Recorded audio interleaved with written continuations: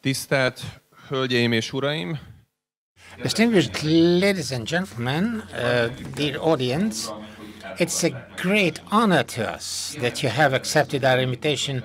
I convey my special welcome to Dr. András Cserpalkovics, Mayor of Székesfehérvár and the representatives of Fejér County General Assembly and the Government Office and the city municipality present here Um, representation of the local businesses, companies, educational institutes, and non-governmental organizations, and special welcome must be expressed to teachers teaching and students studying environmental consciousness and awareness. I also welcome all the professionals and persons who are following our conference online, locally and in our twin cities.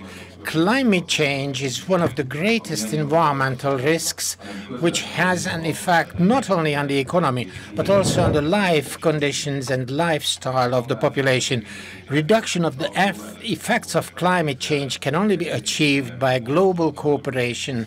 Therefore, we deem it of utmost importance that we discuss our good practices with our partners, with representatives of our twin cities, and to present our new climate strategy.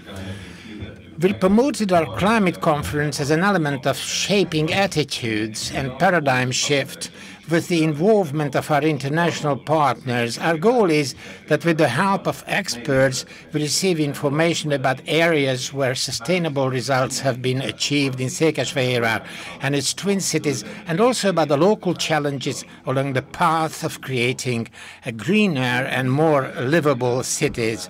In the first half of the conference, Laszlo Magyar, representing the Energy Club, Policy Institute and Methodology Center, will deliver a presentation about the completed climate strategy of Székesfehérvár city with county rights here in the conference hall. Then Thomas Laniszek, head of the project office for the development of smart city municipality of Kranj, will deliver a presentation entitled Green City Solutions in the Light of Climate Change online. This will be followed by a presentation from a town twin city in Finland, Kemi, Eija Kinnunen, Sustainability Coordinator of Kemi, Project Manager for the Project for Green and Sustainable Companies in Kemi, will deliver a presentation entitled The Results of Applying Green and Sustainability Standards in Kemi. Then Agnes Lipcsei, landscape architect and horticultural engineer, urban planner, uh, quality management engineer will head the presentation uh, entitled Green City. Uh, then a short coffee break will follow. Then we shall continue with the second part of our conference. I shall detail later. You can listen to our conference in English and in Hungarian with the help of simultaneous interpreters. I'd like to thank them for their services.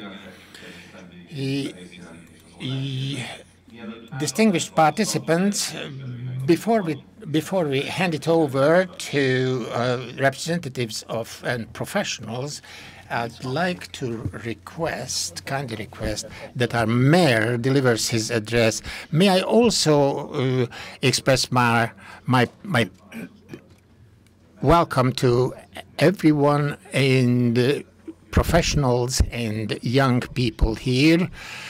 And uh, it's it's a great honor that our vice mayor is with us too. And I'd also like to convey my welcome to those who are not visible here, but they can see us.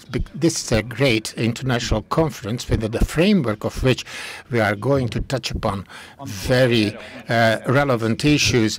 When we prepared for this conference and when we talk about these topics, it's really very important for us to take a look at our past because some years ago, uh, cities with county rights, there are 25 of such cities in, in Hungary, and these are towns who are uh, the biggest in this country after Budapest, and we decided to join an initiative and we undertake some tasks and responsibilities uh, that uh, uh, that come from uh, international agreements, and one of these elements is that we have to elaborate a climate strategy uh, in a comparable manner, and we have we and of course, there's a status assessment, and we have to determine various interventions where we have to, where we must take steps. Uh, these plans are for the period until 2030 and 2050. And these uh, issues will remain with us, and no matter what party, what political party we uh, support, we have to come to an agreement with these very issues. So it's really important that the representative of the Energy Club is here too, and then we are socializing this process now, and we are uh, devoting this conference to this. Uh, and the aim of this conference is uh, that we take it really very important to take over international good practices and transfer international good practices because uh, uh, in this initiative, of course, a lot of different cities, a lot of different towns uh, participate, and we are all different, but we can take over best practices, and uh, especially from those cities who are a step ahead of us. And this conference uh, will create an opportunity for this now, and it's also important to, to, stress that this is a professional conference, and this is a consultation which, of course, touches upon very important topics.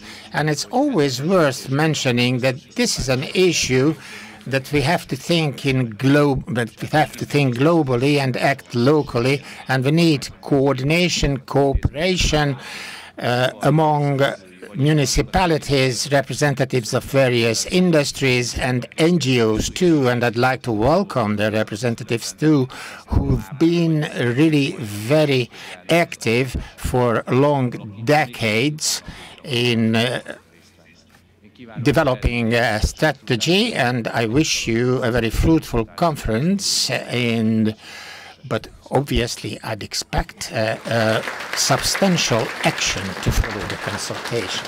Thank you very much for your attention. Ladies and gentlemen, guests, we thank Mayor for the introductory. May I invite Laszlo Magyar from Energia Club to hold his presentation. Szeretettel köszöntök én is mindenkit itt a mai napon. May I greet you today. As Mayor mentioned, this is a long-term planning process, a part of which uh, will be open for the public today. Uh, planning the climate strategy uh, started uh, in cooperation with the local municipality last year and we are finalizing the document which will set out uh, the directions, actions, and measures for the upcoming 10 years. It is very important that uh, global action and global planning are not sufficient any longer. It is required that we also act locally and respond to climate change and its effects. Uh, many company, many uh, uh, settlements uh, come up with climate strategies or action plans or both uh, in order to outline and determine these objectives and directions. The past decade showed typical symptoms in Hungary and in Székesfehérvár, namely there was a failure to curb uh, emission of greenhouse gases. So we need a major change. We need to approach the problem uh, of climate change in a different manner because this is a pressing age of change. Uh, IPCC, the international uh, body responsible for climate change, uh, outlines a very gloomy future uh, the chance uh, for keeping climate change within the bounds uh, and render climate change manageable has reduced to 50%, 50% compared to a previous report drafted six years ago. And this uh, signals that we are at the very last moment in the very last year for uh, managing the uh, problem. Our climate change strategy does not only address uh, what uh, uh, we can do. It also describes how a settlement can resiliently adapt to uh, changes such as extreme temperatures, uh, extreme precipitation, drought. Responding to these uh, uh is a major cornerstone of our uh, strategy. The data we processed for Székesfehérvár in our preparation showed that emissions uh, were higher than uh, um, the um, European average or the Hungarian average, uh, which um, is a result of uh, the major industrial operations and service operations present in Székesfehérvár, and that demands um, major reductions. A strategy normally involves a vision which we uh, formulated in cooperation with uh, the leadership of the city. The city of Székesfehérvár wants to ensure high quality built and natural environment for future generations so that the city operations uses little energy and produces uh, little greenhouse gas emissions as possible and the municipality is able to react flexibly to the challenges of climate change. Namely, we need to maintain our values, preserve our values. We need to motivate uh, to reduce uh, um, energy consumption and GHG emissions uh, and uh, respond to the challenges of climate change. This vision will be supported by uh, uh, overarching objectives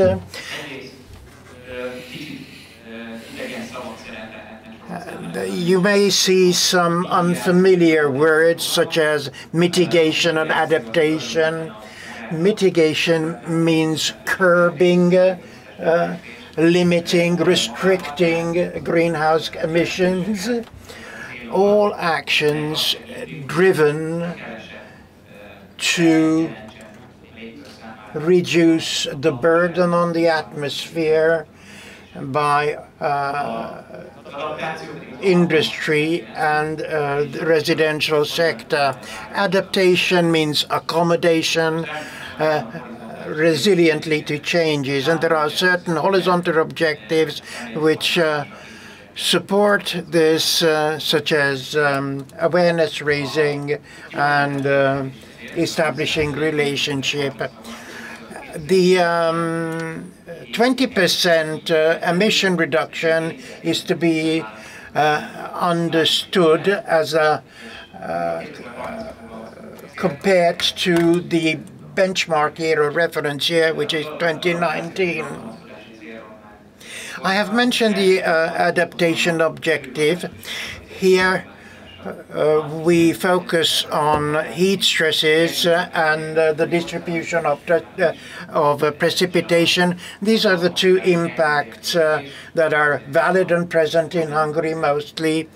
And these are the problems that have been identified as the great, gravest. Um, there is an also important horizontal objective, namely that uh, the population is uh, becoming climate conscious, and there are various partnerships in the making because uh, the local uh, municipality needs to um, work together with several partners in the service sector, in uh, the operations of the city. I don't want to talk too much about um, establishing the status uh, uh, because I'd like to focus mostly on the objectives of our climate strategy, the goals. But here we have a pie chart which shows you the various sectors responsible for gas emissions in Székesfehérvár As you see, as I've mentioned, uh, the right-hand side bottom corner uh, in green represents industrial uh, emissions. Uh, uh, has major industrial operations contributing to greenhouse gas emissions. Um, and uh, the emissions of the service sector, marked red, uh, are also higher than residential emissions. Um, but don't be misled by that because uh, these services uh, are consumed by residents, so you cannot just shrug off this responsibility or pass it on to somebody else. Meaning uh, uh that uh, we need to uh, mitigate um, the emissions by making the right decisions in our daily lives uh, about consumption and what we consume. There is a major table here which shows you the most important uh, objectives uh, reducing uh, uh, emissions. Uh, I cannot go into detail. It's a document of over 100 pages covering many topics, but I would like to mention some of these. Uh, first, I will talk about uh, the reduction measures uh, and then the ad adaptation measures. It is obvious when we talk about uh, um, climate strategy, we cannot omit any partner or neglect any partner. We need concerted action. And so we identified uh, proposed measures for each partner, for each participant, outlining the major directions which could be supported by the climate, uh, uh, sustainable climate action plan, uh, which uh, will pair with an action, uh, specific action plan later on. As far as the various sectors are concerned, um, the local government has a major role as it can influence its own building stock, its fleet, uh, the uh, awareness raising of uh, municipal employees, uh, but also they may impact residents. Just think of uh, the event today when we openly communicate that the stance against climate change is vital for everyone. There is no exception.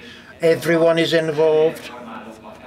And this uh, shaping of awareness uh, could have a ripple effect uh, and ripple through uh, the society at large. It is important to set up uh, a local government database because uh, the local government has to see what it has at hand, uh, uh, what are energy consumptions data, where you can reduce certain things such as gas consumption, which seems to be key in these days. What solar uh, investments uh, are feasible and what schedules can be um, set uh, Citizens and households uh, should focus on energy efficiency investment, uh, including installation replacement of doors and windows, and investments into renewable energy, not only solar. You can use ambient heat uh, using heat pumps, or might, might rely on geothermal energy not, which is not typical of Székesfehérvár, but you can go in various other directions. Uh, at present, uh, um, wind is not a um, viable option in Hungary, but sooner or later legislation may change and will might become a viable option soon. Citizens should be uh, motivated, supported with information, uh, with access to uh, application projects, and we could set up an advisory office, which is also part of uh, our climate strategy as a measure. Industry and services is the largest uh, uh, entities responsible for emissions. Uh,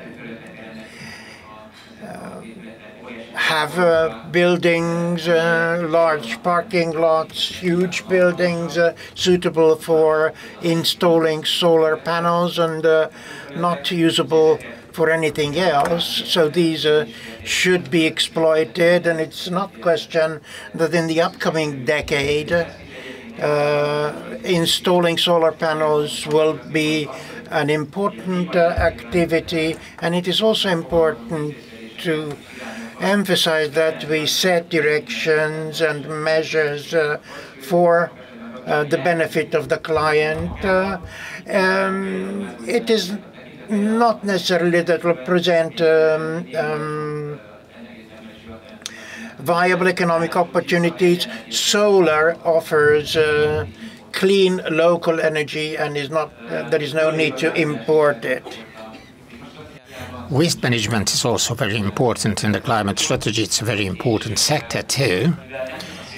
And since we are not only talking about CO2, because that's uh, that comes from fossil um, energy, and and of course it is it is emitted, but there there are there are various other gases too, so methane and beneficial oxygen too, and we'd like really to reduce these emissions as well, and we must focus on this area too. So bio-waste composting is a very important element too, and this can be this can be carried out at household level too, and also the utilization of uh, and energy recovery from sewage sludge.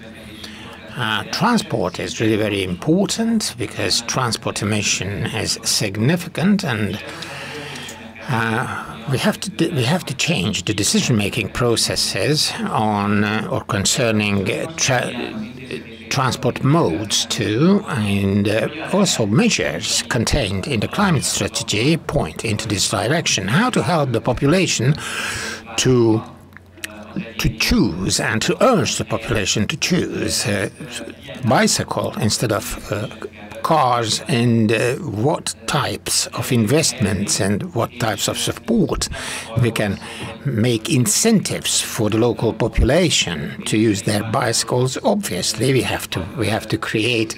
Um, bicycle lanes too and PR parking lots too in order for the population to change uh, transport modes. But of course, we have to raise awareness uh, with companies, with schools, we should organize events where we can inform the students and also the local population about an attitude change. It's not only in, it's not enough to create an, op, a, an opportunity and a possibility for uh, cycling, but of course we have to control traffic and we have to reduce motor transport because cars occupy and various motor vehicles uh, occupy a lot of space. So similarly to various big cities, uh, the goal in Székesfehérvár is to create an area in the middle of the town or in the central areas of town with as little traffic as possible and car car free zones, lane reductions, access restrictions. I mean, and, and a very important part of the climate strategy is renewable energy power, power plants. This is really very important because when it comes to urban planning or village planning, uh, this can serve the retention of values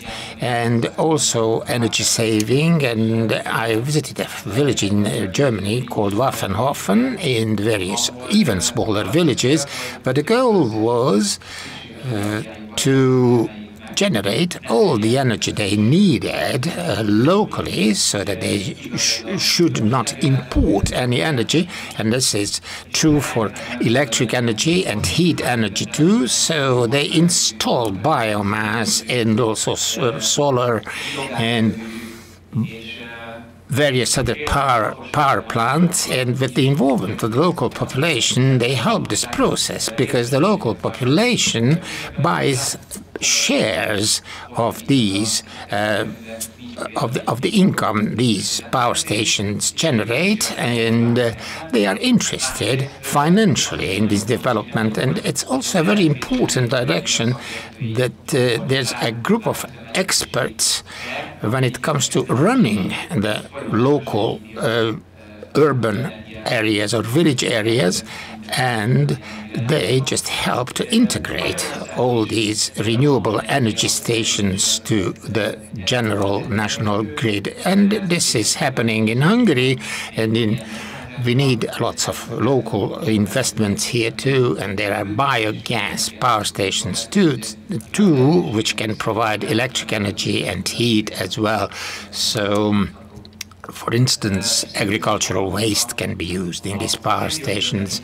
And as for CO2, we also need carbon sequestration because we, we, we, can also support sequestration. We have we can develop green roofs, green walls, green walls, and uh, we can also uh, do and perform tree planting afforestation. And we've uh, been quite active in this area and we need to uh, continue with these activities. And like let uh, allow me to outline the adaptation goals and adaptation measures so we have urban adaptation targets and measures related to the targets and how to adapt uh, ourselves to warmer summers and longer droughts uh, because in May we've had temperatures of 30, 35 degrees centigrade and we are expecting even more serious heat waves in summer and this will be more frequent in future. So stress must be put on the reduction of emissions, how, how we can stop emissions. And as for adaptation measures, and in the focal point of these, well, it's the municipalities preparing for extreme weather conditions, improving the thermal performance of public buildings, and I was talking about sequestrations. And as a jolly joker here, the green spots in urban areas, and that creates a balance between the heat management of covered areas and green areas and the retention of precipitation and rainwater helps a lot and obviously it has uh, we, we have to we have to build shades uh, in the, so this is very important. The role of green areas is really very important because they have a balancing effect, and we, would like to create an overall green area in in in, in this town. And afforestation has been mentioned too, and also um, which is a very important nature conservation area, we the locals like to walk there, and it's very important to preserve this area uh, in the respect of uh, climate. And uh, coming back to water retention in precipitation water, uh, we cannot only address this issue at institutional level and at municipal level, but uh, individuals can also collect rainwater so they can join this process too because the extreme weather conditions and to counterbalance the effects when there's a large storm rainstorm if they can collect the rainwater from these rainstorms they can use this water for irrigation and use the water for various other purposes. As for climate change in the future it's not only irrigation water that uh, may cause problem, I mean quantitative problems, but of course uh, there might be restrictions on the supply of drinking water too, so we have to make well thought decisions in these areas. Uh, and we are talking about uh, creating uh, various rainwater reservoirs too. And we also want to use permeable pavements, green roofs, green facades, shading, light facade, and cladding colors. And uh, these adaptation solutions, when, when it comes to a new uh, uh, investment, then we plan larger green spots when it comes to a new facility with a green roof and also shading and insulation in reaction to changing climatic uh, reactions, and these can be, they must be involved in municipal plans too. And there are some horizontal measures too, which comprehensively help uh, the reduction of emissions and also adaptation. And we, we, we, have we have to set up an expert group to support implementation, and we have to perform campaigns of public awareness and train experts. training is really very important in order to support various measures in the climate strategy and integration of climate objectives into development plans, uh, training uh, courses with uh, various companies and schools uh, so that we raise the awareness of the local population. And in, in conclusion, I'd like to highlight the fact that this is a common cause for a common goal because everybody is a role player and it is up to us how we can reduce the harmful effects of climate change and we really have to raise awareness uh, and uh, we have to involve all sectors and everybody must participate in in in, in solutions and the partnerships are very important. An overall change in approach is very important too. But the strategy has a positive vision for the future, and compared to the present situation, the vision says that uh, the future will be more livable and will result in a better town and better, better environment, better urban environment. Thank you for your um, attention. Nagyon szépen köszönjük Magyar László úrnak az előadását. Thank you, Laszlo Magyar, for the presentation, ladies and gentlemen. Uh, may I invite Tomas Lanišek from the city of Kranj, Slovenia, to hold his presentation. Dear Mayor, Mr. András Cser-Palkovics, dear participants and organizers. Uh, it is uh, an honor for us to be a part of the Green City Solution Conference of Székesfehérvár. Thank you very much for your uh, invitation indeed. I'm uh, speaking in the name of our mayor, Mr. Uh, Rakovec, uh, and I'm the head of the Office for Development smart city and uh, projects. Um, Kranj is the third biggest uh, city in Slovenia, uh, and it was considered the Silicon Valley of the former Yugoslavia. Nowadays, it is becoming a sustainable, green, and smart city. Uh, it was a very big honor for us also that we are actually uh, was we were named uh, by the European Commission two weeks ago to be a part of 100 uh, carbon neutral and smart cities till 2030. Uh, there were three cities from Slovenia, Ljubljana, Kranj, and Velenje, and we are glad also to be in this very important group of cities where we have also three Hungarian uh, cities within. Um, Kranj as, as a city and the city municipality has approximately 60,000 inhabitants, and we are becoming definitely a sustainable and green and smart city. Um, so I would like to add and point out a few of the very important uh, projects on the e-mobility, transport in the city and uh, cycling areas, as well as green city and digitalization.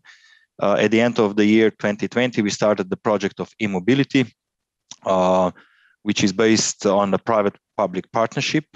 Uh, the project, which is actually very successful and already in the third stage, and it was also noticed by the United Nations uh, EC Commission, where we presented the case also two weeks ago in uh, Barcelona.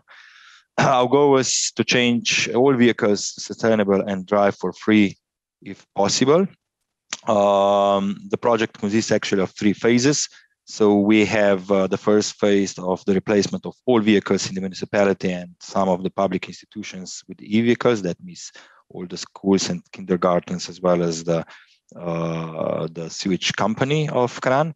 Then the second uh, pillar is setting up public uh, changing charging stations in urban areas. Uh, so we have the same number of the charging stations as the number of the uh, of the vehicles. And the third, and the very important one, is installing the rooftop solar powered plants. So we already actually are able to produce uh, enough electricity for 1.7 million uh, kilometers, which is just enough for all the needs that we need in the public part of this uh, project. Uh, but the idea is also in the afternoon and during the weekend to share those e-vehicles with our members of the public. But to do this, we need to implement actually the digital platform as well as the smart city card that are now being actually implemented with the tenders that we are just finalizing.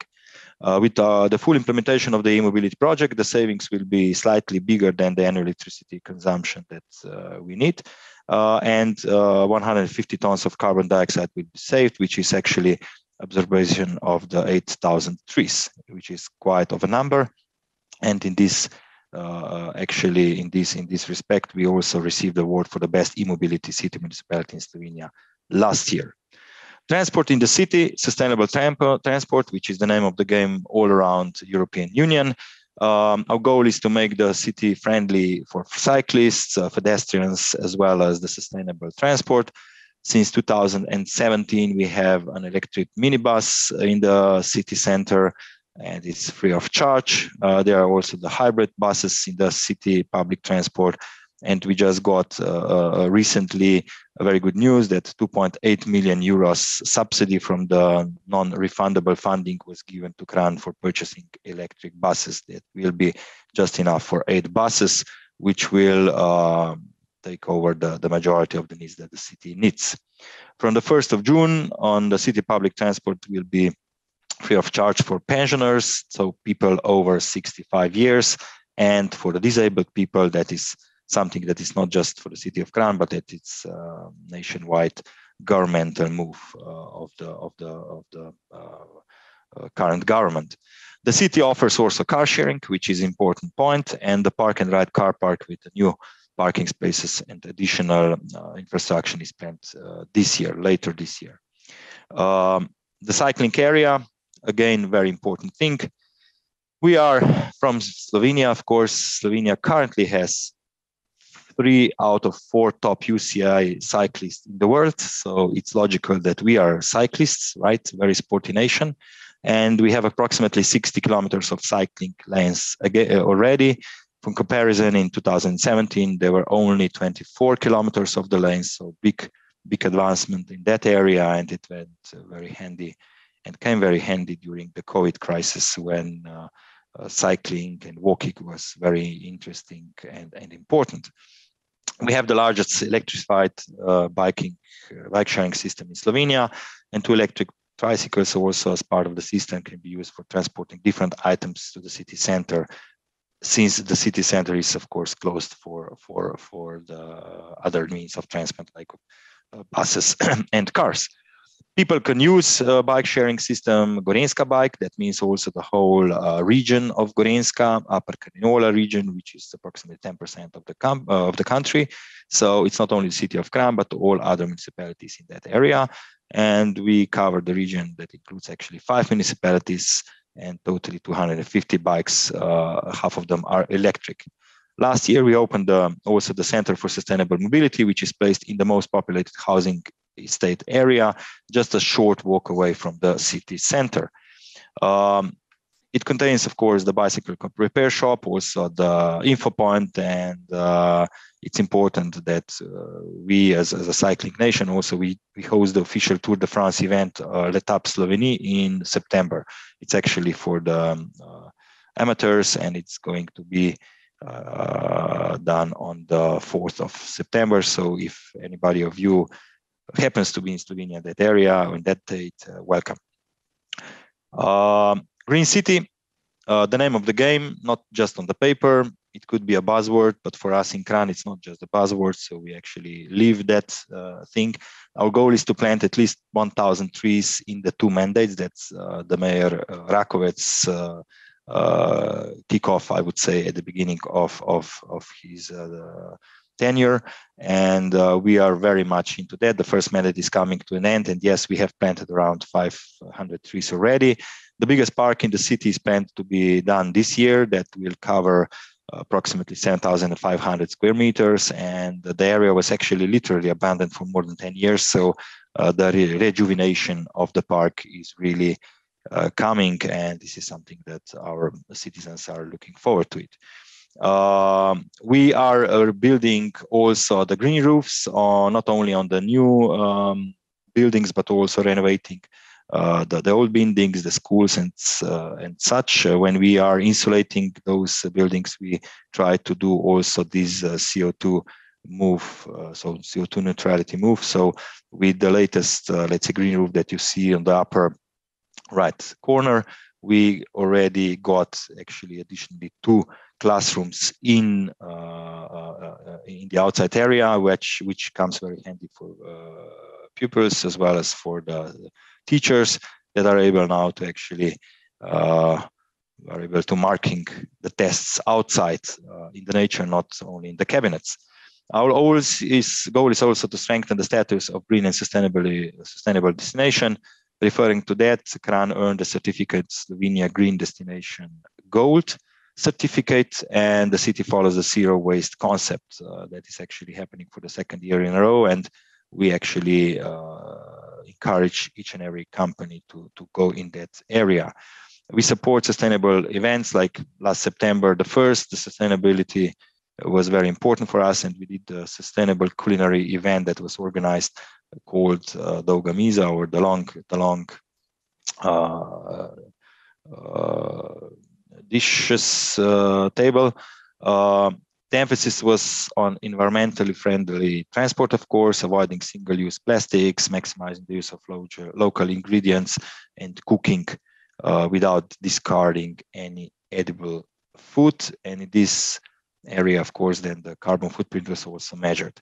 Um, it's a bit, I would say, maybe uh, advanced and and and uh, avant-garde, but uh, we actually follow this kind of logic uh, within the um, nutrition part of the schools and kindergartens. And in this respect, we also organize the platform for the um, uh, local, let's say, um, farmers that are able to sell uh, their food or their ingredients to the local schools. So uh, the important part is that uh, the ingredients uh, for food uh, make as less kilometers to the table as possible if we want to achieve all this, then the digitalization or the digital transformation is the name of the game. It's very important. Um, it cannot happen just over the night. Uh, it's quite complex on one hand, although it's very easy if you want to do it. Our mayor was visionary at the beginning of the term.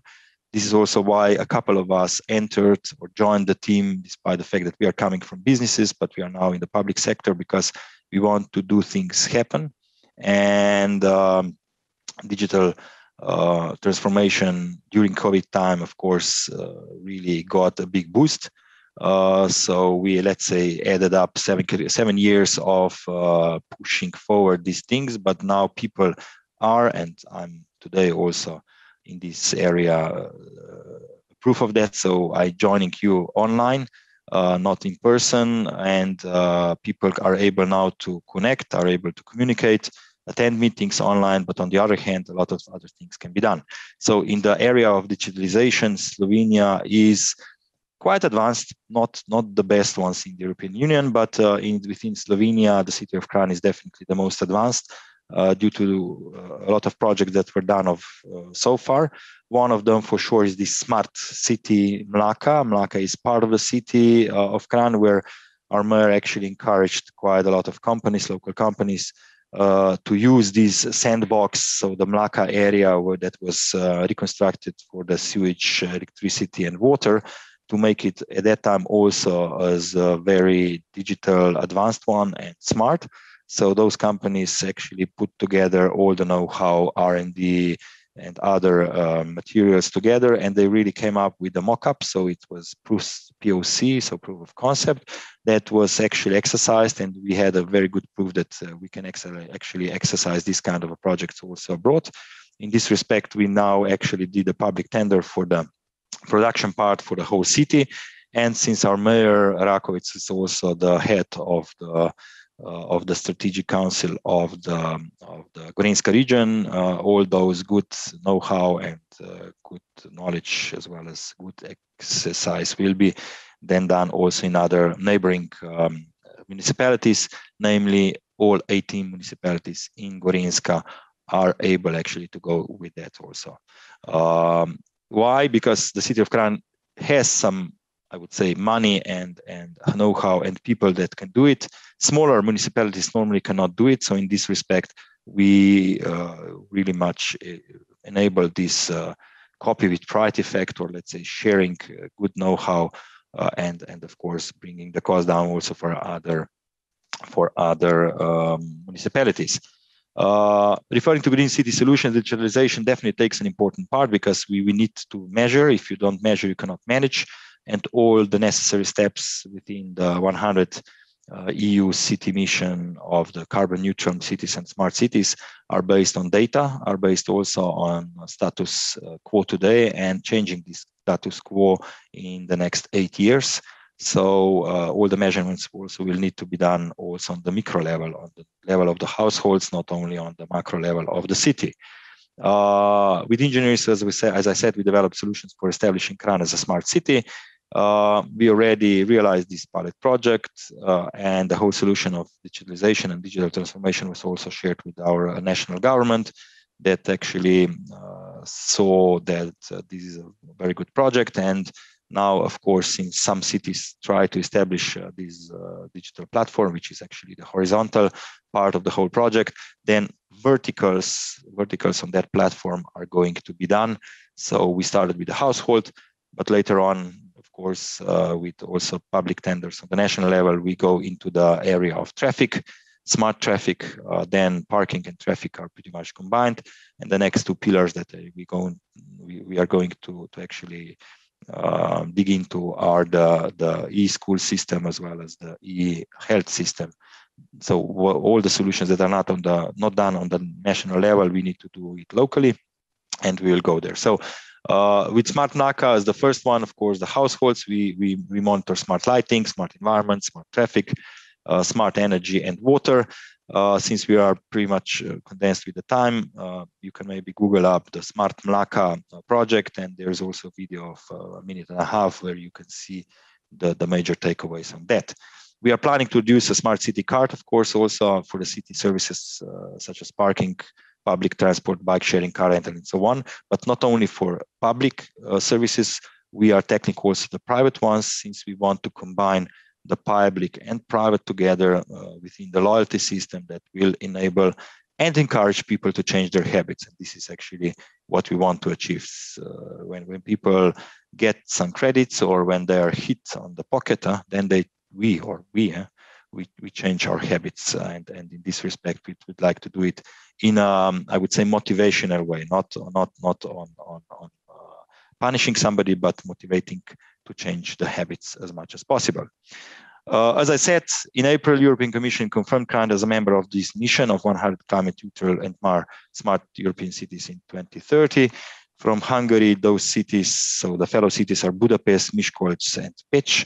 In our uh, area, it's the capital Ljubljana as well as uh, the And uh, we would like definitely, uh, not only would like, but we are committed to reduce the energy use the costs for the environmental impact uh, also by the decree and by the documents that uh, the city council actually already approved in the past. And uh, after this first, I would say, um, term of the Mayor Rakovec is looming, uh, we are happy to see that uh, a lot of things and a lot of goals were achieved already, but a lot of things will need to be done in the future. And this is why also the Mayor Rakovec will will go for the second term and also um, continue with those projects that are uh, outlined and of course even more projects that are going to be achieved within this mission uh, that are looming ahead. The challenge is the people.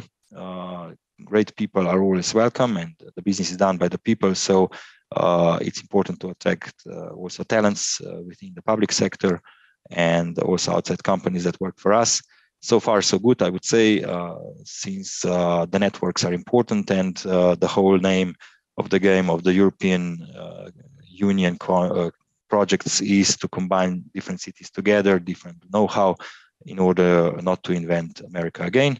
And in this respect, of course, the city of Kranj is open to, to, to cooperation as well as uh, sharing the know-how whenever it's possible. With this, uh, I would say uh, just thank you to all of you. Uh, hopefully it was um, actually some good uh, intro uh, and some good thoughts for you also with your endeavor in your cities. Uh, what we want to do is, of course, to change uh, ourselves. It's important that we change ourselves, not the others, because this is not possible. But to do this, we need to have the the, the heads up on this that uh, the change is possible only if we really start it, and we need to start today. With this, thank you very much. And uh, if there are any questions, uh, feel free to ask. Thank you.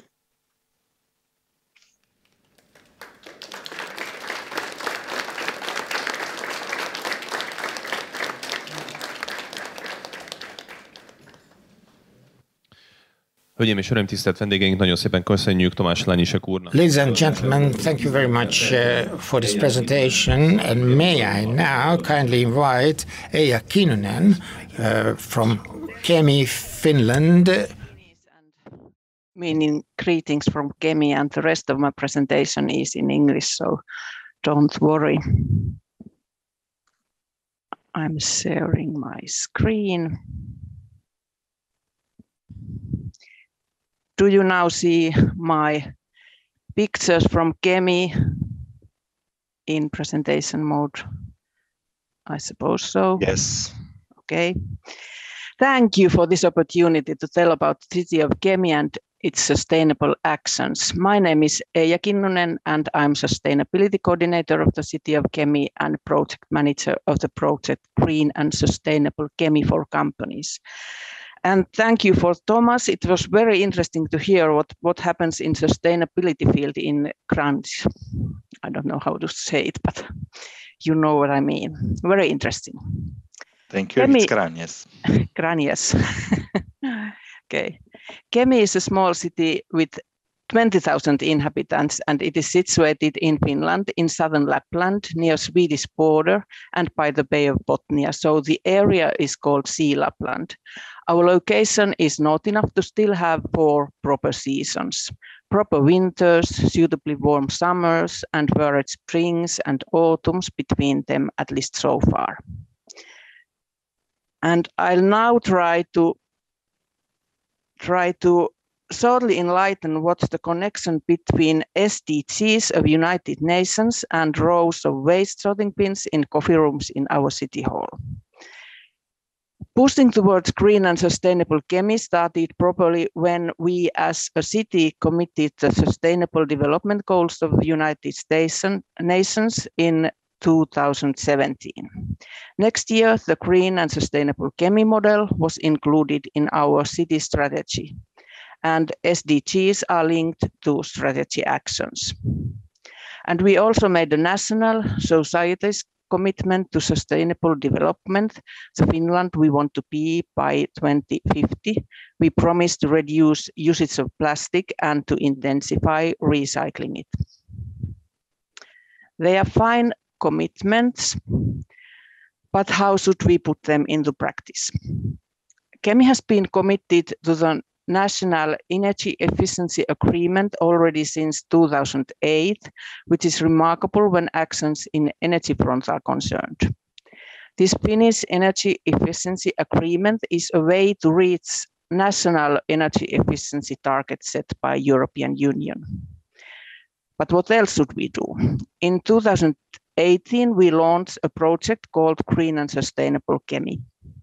The target group was organization of our city, and one of the goals was to make Kemi green and sustainable by adding awareness of environmental issues and requirements of ISO 14001 environmental standard. So we started project work by choosing this ISO 14001 environmental standard as a tool to our actions, and we even got the environmental certificate for Kemi as the second municipality in Finland. There's still no other municipalities, only two of us who's in Finland having this certificate. And the project also outlined Kemi's joining to Carbon Neutral Finland network. Target of this network is to reduce emissions in city area by 80% from the level of year 2007 by year 2030. And we are well on our way. One operation model of the project was to act agile and experimentally. So we created, for example, social kitchen model to reduce food waste and increase green and social dining. Model started fine and it was transferred to be developed further to another project called year-round urban farming and local food production in Kemi.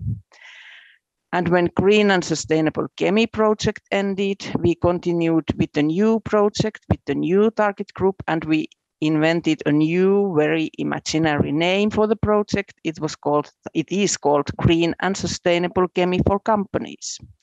And this pro project is still ongoing. All these three essential projects for Green Kemi are financed by European Regional Development Fund, two by Regional Council of Lapland, and one by Center for Economic Development, Transport and the Environment. And this project finance is essential in green and sustainable work of Kemi. We, we are a small town with small resources.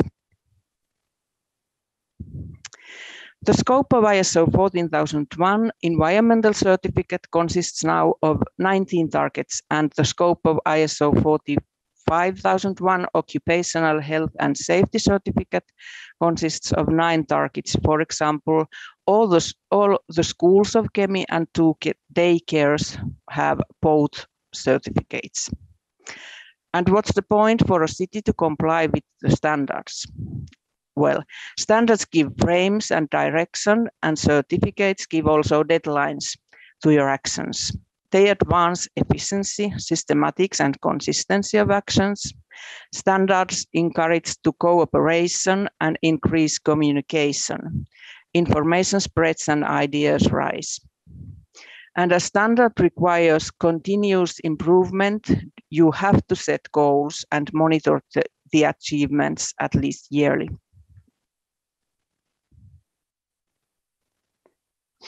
Some examples of concrete actions in Kemi.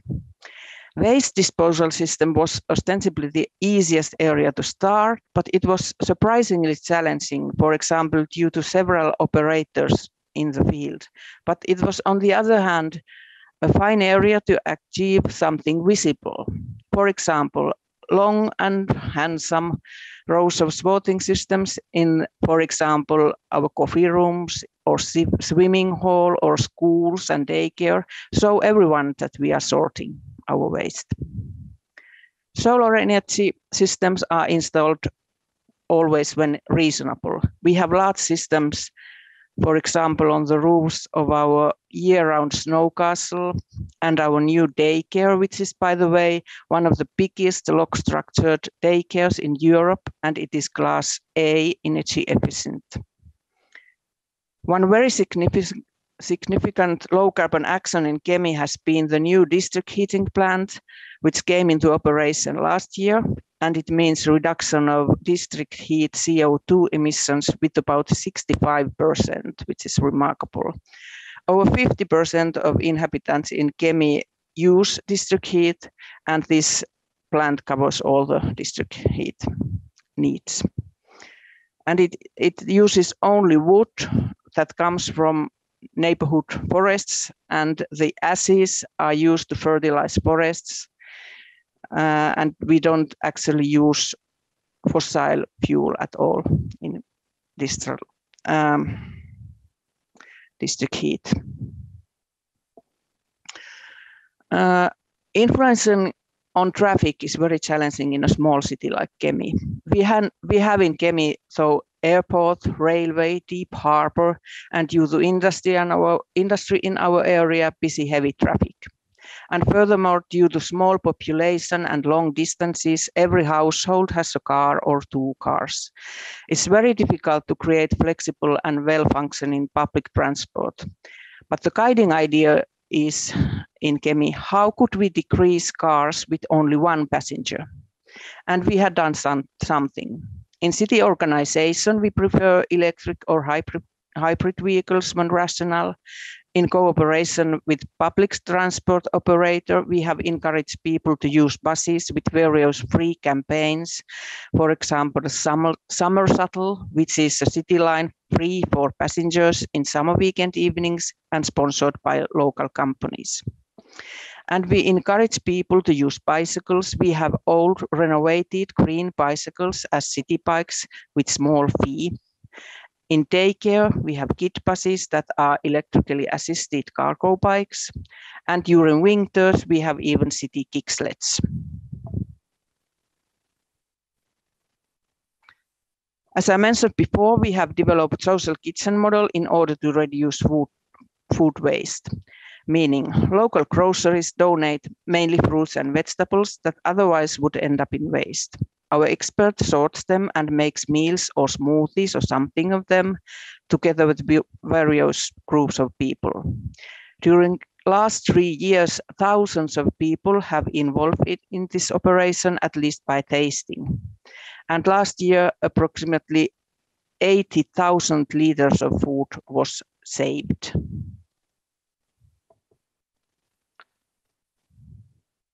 And the actual green. Year 2019 was the 150th anniversary of Kemi, so we planted 150 spruces in Kemi area and donated 2,000 spruce plants for our inhabitants to be planted.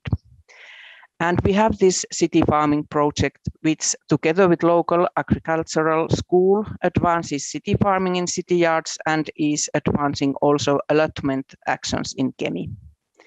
And we have planted also natural flowers in our city area. For our 20 winters, we have built a large snow castle, including hotel, restaurants, sauna, chapel, perform performance stages, ice sculptures, playgrounds made of snow and ice. And for some years now, we have had also a year-round ice castle that uses ecologically, for example, solar panels and geocold to maintain its cold and frost. As a result, it's only natural that also plenty of snowmen live in Kemi. We have started a campaign, call, campaign called Save Our Snowman, SOS, targeting to maintain proper winters and living conditions for our snowmen and snow women also. And finally, some guiding ideas in our green and sustainable work in Kemi. In projects, it is easier to be agile and experimental than in actual city organization. Cooperation and communication are essential. Climate change don't recognize borders and you can't act a machine alone. Everyone can do something, both big and small deeds are needed. And the ideal situation would be that we wouldn't have to raise these issues separately, separately at all. It would be ideal if sustainable development would be a default criteria in all our decision making and acting. Thank you.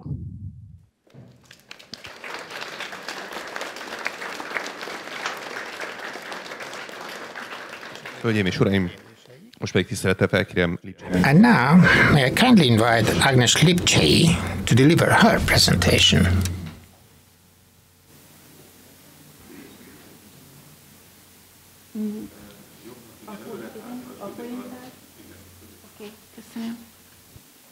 Szép jó napot kívánok, Lipcsei Ágnes vagyok, táj és kelt. Good morning everyone. Uh, I'm an urban planner and I'm a horticultural engineer. I I'm here from Nyíregyháza, from the eastern end of the country, and I used public transport, and I can join uh, the final words of our previous presenter. So big plans are needed, and so I'm, I'm going to present a big plan to you in uh, so there was a public procurement uh, tender and we were granted this opportunity to carry out this plan. So this is this is a meadow uh, in Székesfehérvár in the southern part, and this was taken in August 2020. So this is an impressive area, and. Uh, we we had done preliminary activities and exploration before we started planning, and as a result of botanical examinations, we now can say that this area is uh, the main feature is dry meadow and botanically it's not really very important so it's just dry grass meadow and uh, but of course, it can contain remarkable values too, and we have to pay attention to all these values during the planning phase and also the implementation phase. When I received uh, this assignment, so this is a big plan, so the construction part of this investment is really very complex, and also the green infrastructure, so this is a very complex, large project. So what can I tell you and what can I present to you in 20 minutes from the point of view of climate risk reduction? So I'd really like to focus on the complex nature of this project in my slides. And may I just uh, call your attention to various uh, challenges that made our preliminary activity and planning activity um, very difficult. And uh, we had to focus on those, not only during the planning phase, but also during the construction and implementation phase as well.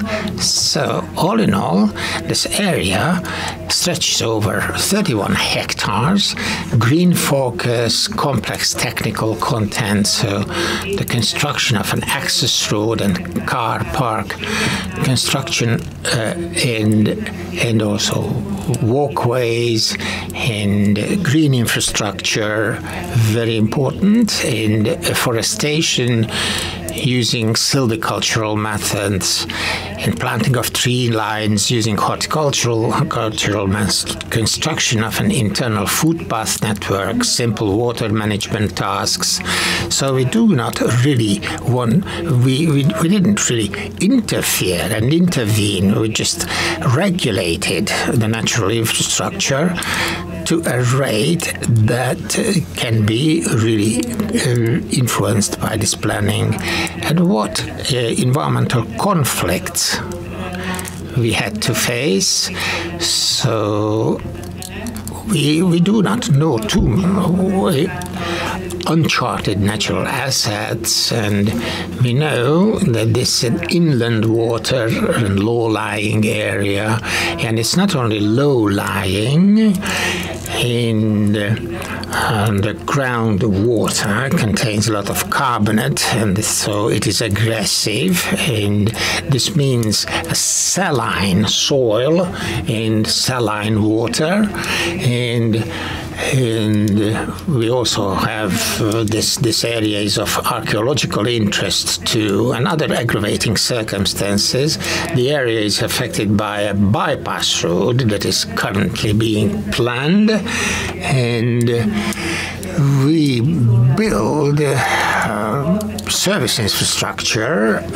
This is for, for, for this green investment. Uh, so we, we need some utilities, and there are no utilities within the plot.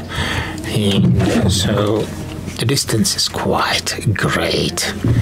And uh, this was animated and it doesn't seem to work. So, mm-hmm. has it been converted into PDF format?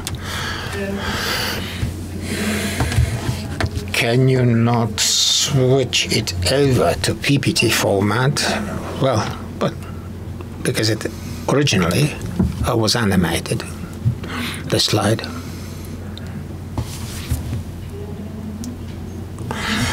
it would be really very important, not not now at this moment, but later on, and, and must apologize. So, so the presentation of the plan based on the objectives. So here locally, the goal and the objective well, the objectives were really determined very carefully, and I'd really like to program is essentially a, a large scale forest and park development for both leisure and recreation, which for which forest areas and gives and groves are presented in a mosaic of interconnected systems. What is so great against this? So the investor uh, has clear objectives and uh, and of course fine tuning elements and also some areas for the future. So, what free time or leisure time infrastructure should be placed in this plot? And I don't know whose idea this key sentence was. So, the key part of this key sentence is in which forest areas and groves are presented in a mosaic of interconnected systems. So we were planning afforestation. Klimatikus, ökológiai körülményekre. And when we pay attention to ecological circumstances, we are planning to a forest with groves uh, in a mosaic uh, and interconnected system. This is what I call fine tuning for uh, preparing the strategy. The point uh, of this conference uh, shows uh, the, the, the, main points of uh, this conference is prevention, adaptation, and sustainability, and strengthening local capacity to reduce greenhouse gas, greenhouse gas emissions. This is the objective of the conference. What does the European Union say? Uh, growers save 8.9% of gas in the EU one year. That is uh, 2014 data. And the EU is putting strong emphasis on land use and the role of forests in uh, the fight against climate change. And we are going to plant forests uh, with groves plus infrastructure and infrastructure services. Szeretném, tehát erdő és parkfejlesztés So, uh, ez, és ez végig a tervezés során abszolút prioritás marad. Köszönöm ezért a megbízónak. Developing a forest and parkland uh, uh, and this is what uh, um, the um, developer had in mind. Infrastructure which helps uh, uh, um, spend leisure time will be implemented later. And here is a sentence talking about fine tuning. So we'd like to create a forest. As this is an international conference, let me introduce you where we are. We are southwest uh, from the capital city of Budapest, 65 kilometers from Budapest and 45 kilometers from the Lake Balaton. We are three kilometers from the city center of Székesfehérvár. Uh, here is the uh, city center and the design area, it is uh, uh, bordered by two streets and and uh, um, and there is uh, water treatment, a sewer sewer treat a sewer treatment plant um, on the uh, 200 meters away. On the western side, there's a residential area. The south also has a residential area. And there is a, a valley called the Ditch, uh, which is an intermittently flooded area. Uh, and uh, here you also see the route uh, of uh, the planned bypass, uh, um, which will affect the area. Let us talk about the difficulties and risks. Uh, which uh, are, were challenges for planning and will also be challenges for uh, building and operations. I think uh, uh, without uh, agreeing to take on uh, these risks and challenges, I don't think you can effectively manage climate. We have a fundamentally flat land, flat terrain, a very exciting meadow. There are no trees and we have aggressive groundwater, and there's also inland water. We try to collect uh, uh, groundwater data from um, the Water Authority. In 2010, there was no inland water. In 2016, uh, there was more intensive presence of uh, inland water. And these photographs were taken from the plan or from the representative of the local government. I could not associate, they couldn't associate uh, the year, so we also turned to the water authority uh, telling them that we have uh, larger water surfaces and pictures with larger water surfaces uh, and requested them for data and they then uh, showed us the potential inland water coverage uh, and you see there is a, a single white space here. Terrain conditions, inland water threat, uh, present an exercise for us. Uh, we need to perform an archaeological, uh, geological analysis, and soil tests had to be performed. There are elevation points. This geodetic uh, survey was used for many purposes during planning. Our archaeological area is at the highest point. Uh, it is a plateau based on um, detailed botanical study, uh, the potential occurrence of uh, botanical values uh, uh, uh, is on the plateau and the urban strategic water allocation plan requests the retention of buffer storage capacity in the design area. And the, we have access to water in the north, and we have electric uh, supply in the south. And there is also an opportunity for uh, sewer um, services. Uh, this section, for instance, is 180 meters here, just so that you know what distances are involved. Uh, afforestation, basically uh, the port project had in mind to afforest 60% of the area, which is a nice uh, um, figure. If you're into urban planning, uh, you should know that this is a public park, uh, but it is not classified as a forest. But because of the intention to afforest,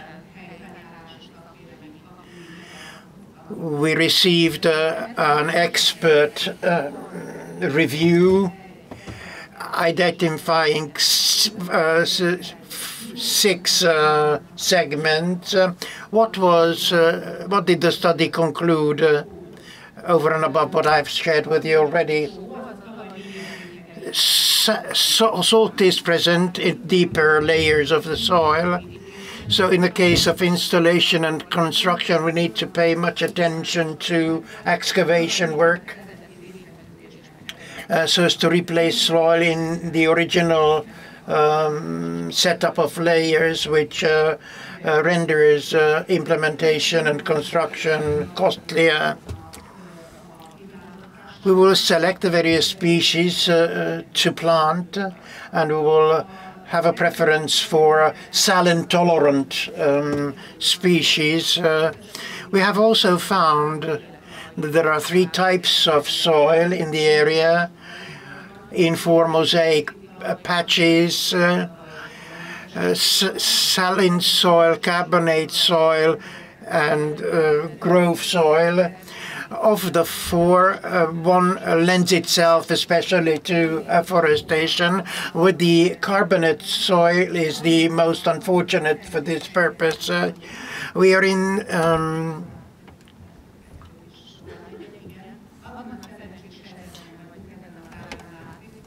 uh, we are lucky because the carbonate grove soil is on the plateau where we don't want to uh, plant uh, uh for forests uh, because it uh, is it has archaeological and botanic interests.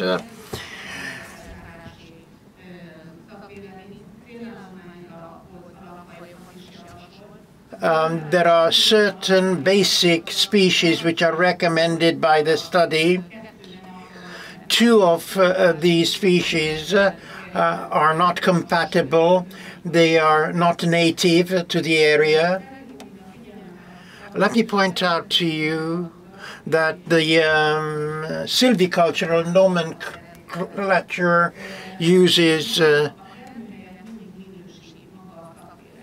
Uh, the method of uh, rating uh, um, the, um, the, the land and this is a, a not nature close uh, area. Uh, uh, there are certain native species. native species are the ones that we prefer, such as oak and willow.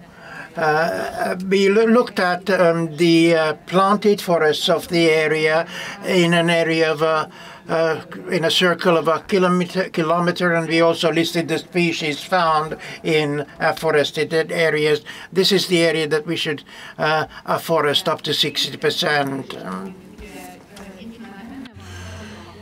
So we have developed a list of species and of indigenous species too, where we can find specimens within one, one kilometer radius uh, around Székesfehérvár.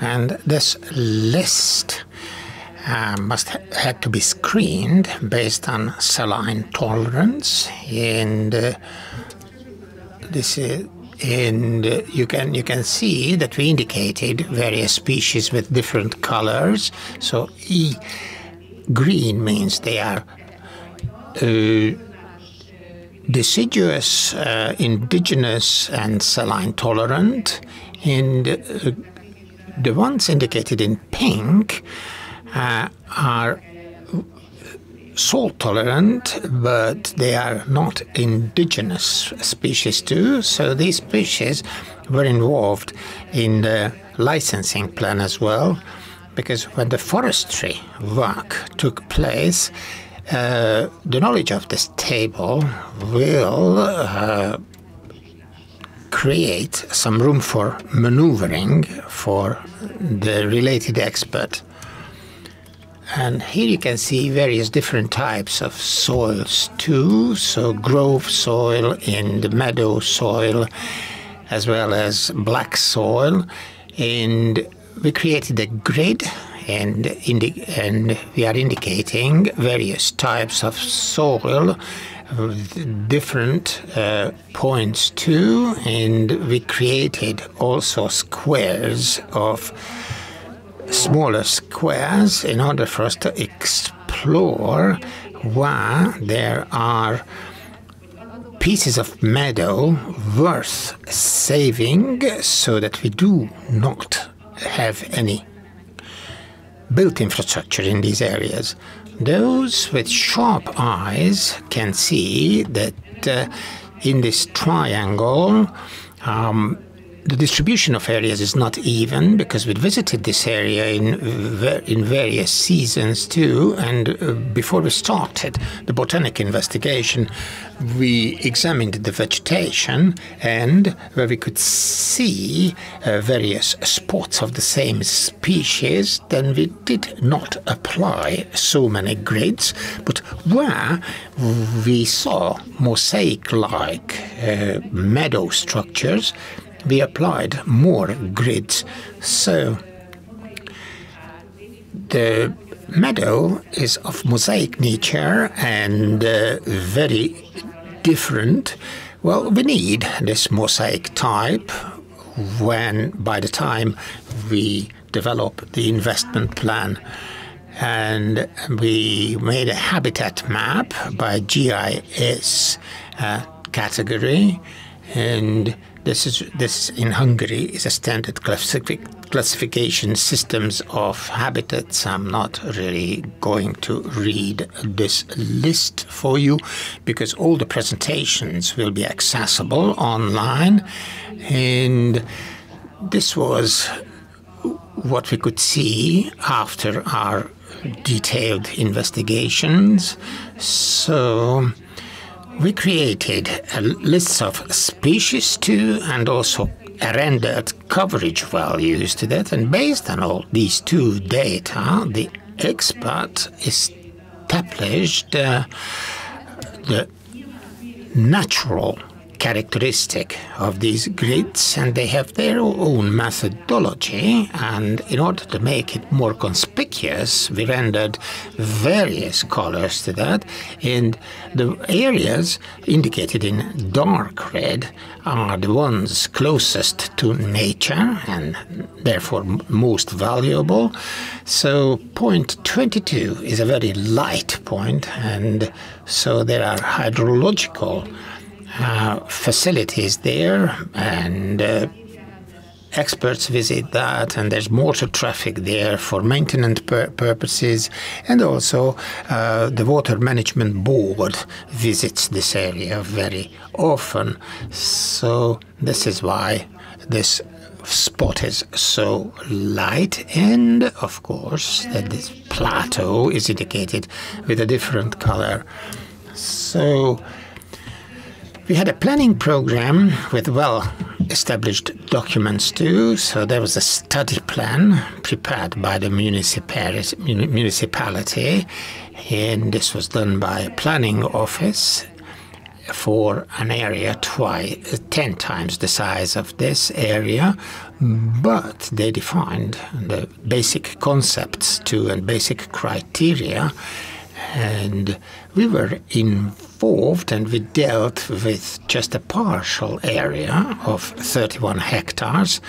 And now we can talk about the technical plan too. And we've, we've done um, the fundamental work and also risk analysis. So the, this other planning office planned more infrastructure, a football field, and less a forested area and also a facility and various service buildings and fitness playground. So they thought they were thinking in terms of uh, in develop the infrastructure to develop and this is the planning our planning program 2020 because for each element, for the green elements and also for the built elements, uh, there are various tech technologies uh, rendered to all these elements, and I'd like to speed up my presentation because I'm running out of time. So this is a comprehensive plan, and uh, you cannot really see all the details in these lighting lighting conditions. So this is the ring road and there are very pale spots here and this is the main road and the parking place and here's this um, area with uh, archaeological interest too and there's a there's also a low area with a dirt road and it must be preserved. And there's a clear plateau here for sports grounds. And uh, there we have we have some openings here for the placement of infrastructure. So the we have another drawing of the site plan too. So we, we shall have a reception building too. And those who remember the analysis, there's a local height as well. So we have water permeable cladding for substructures, and connecting asphalt road, eco stone paved access road, and parking optional road with gravel pavement. And pavement paving is very important too, and I haven't mentioned it, but we we are going to cover the walkways uh, uh, and also we, we, applied drainage facilities too. If uh, local water comes to the surface and we wouldn't like it to destroy the structure surfaces and due to the soil conditions we are using uh, drainage systems too and uh, we get the gravel from local quarries and this is a detailed picture but this is really of very low quality. So this is the access road and parking, and there's a cross section, and also the water permeable solutions. And you can't really see too much of the uh, layout of the building. So this building will be on a high surface and uh, close to a natural structure. So there there will be uh, the facility and also the mechanical block with an underground passageway, and then. there will be a covered gateway, a roof terrace, and mechanical engineering facility, and there's going to be some catering, a catering part too, and there will be a terrace on the ground. And the terrace will be shaded, and well, we shall have a structure to hold the solar panels. Here you can see the various earthen work, and this is the the functional at, at, the, at the functional zero level of the facility, and here's the roof terrace. What are uh, the uh, solutions for uh, reducing climate risk? Earth cover, which air conditions in the summer and the winter, heat insulation. You cannot really see this in this picture. There are also uh, certain uh, abutments uh, of the roof there are uh, separate, there's a separate heating system. Uh, toilets and buffet can be heated separately. Uh, toilets uh, are uh, uh, cooled using solar cells and water. The system uses hot and cold water with a large ventilation and recycling system the energy management classification of the building is other by the nomenclature and it's close to zero so it stops in terms of uh, uh, climatic effect. This is an exciting uh, section and let's see some visualization plans. Uh, and this is the uh, parking lot. This is the uh, lookout terrace and the, the next is uh, the surroundings of the reception building. We use permeable covers uh, uh, using botanic methods uh, for uh, planting, intensive turf laying around the building. building. There are no intensive brushes uh, in the plans. This is the view from the forested uh, portion. And we use intensive horticultural uh, methods. Uh, this is the, the earthwork of um, the access road and uh, access walkway uh, with an elevated crest. Now let's talk about afforestation. We based this on um, soil genetics. Uh, the, fundamentally, there were three uh, different patterns uh, for the three different uh, soil types, Solonetz carbonate and deep saline. And uh, we uh, provided a little bit of leeway if uh, um, the mosaic aspect of the area wanted to be uh, emphasized. Uh, uh, you see this area is carbonated soil and a total deep saline afforestation will be implemented in these areas. Also, we will have uh, edge forests. Uh, this is a pattern. This is the uh, edge of um, the forest lane or the forest line, and the alleys uh, are around uh, and in the vicinity of the building and along the uh, access road. Uh, I emphasize alleys because we planted horticultural quality uh, uh, trees, so technology and size uh, and dimensions are important here. In terms of numbers, let me highlight the numbers of trees. Uh, uh, close to 1,800 uh, individual trees were planted. and grass, turf laying, uh, could be either intensive on uh, flatland and slopes. Uh, as we move away uh, from the building, it's uh, extensive both on flatland and on slope. And, and there are certain areas which we split off at the beginning of the building. It is important to highlight that we had a botanic study and we selected from among uh, the potentially available uh, seeds, grass seeds, uh, and also mixed these seeds and receive, made a recommendation as to the mixture of the seeds to be used in the area for planting grass.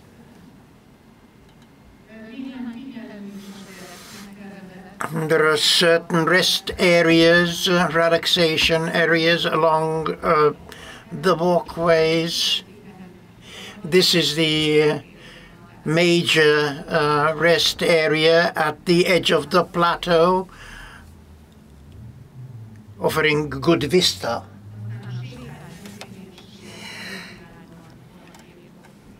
We have two rest areas uh, transversally along uh, the um, um, the walkway. And the terminal end uh, at the railway. Is something where you can sit down and view the areas uh, around a few um, wooden structures for relaxation. Street furniture are unique in certain places. and these were placed in the various uh, relaxation areas and so on and so forth. What are the conclusions?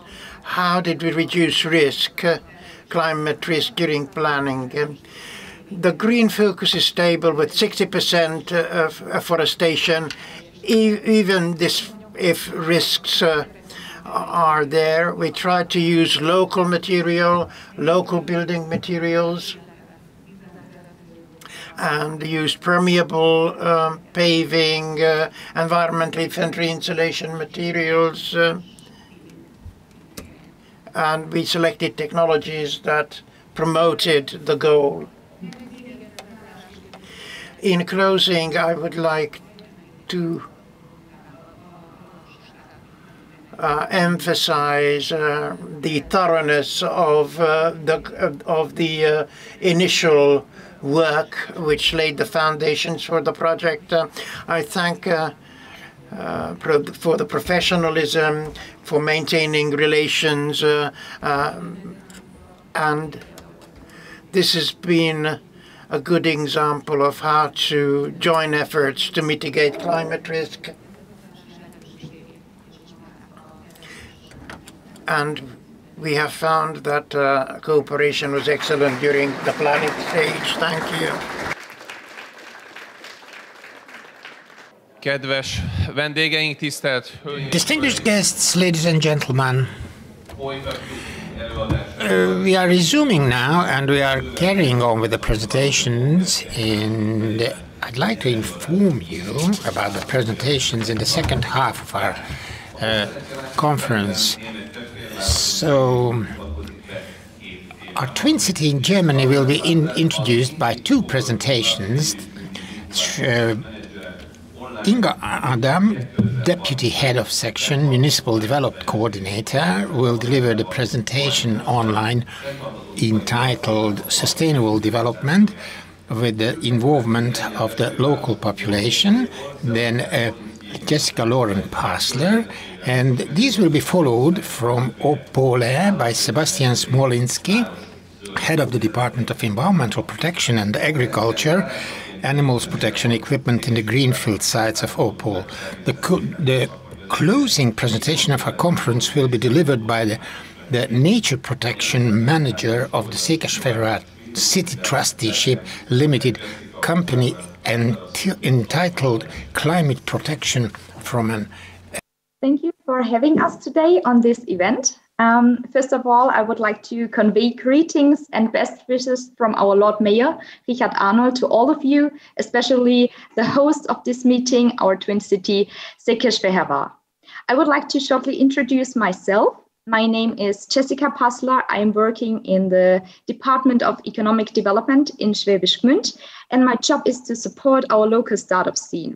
Today, I will guide you through uh, the presentation from our Department for Sustainable Development, Climate, uh, climate Protection and Citizen Participation, because all colleagues there are all together present today. Mr. Alexander Kroll, head of the Department for Economic Development, has to attend an important kick-off meeting from our model region green hydrogen Baden-Württemberg in our state capital Stuttgart, which is why I will hold his presentation as well. I'm very pleased to present you um, today our municipal structures as well as uh, the possibilities of citizen participation for sustainable urban redevelopment in Schwäbisch Gmünd. I have prepared the following agenda for my presentation. Okay. Our beautiful city, Schwäbisch Gmünd, is located in the district of Ostalbkreis in the federal state of Baden-Württemberg and is home to more than 61,000 people. Schwäbisch Gmünd is known for its more than 2,000 small and medium-sized enterprises and global players in the automotive industry, mechanical engineering, and the manufacture of metal products.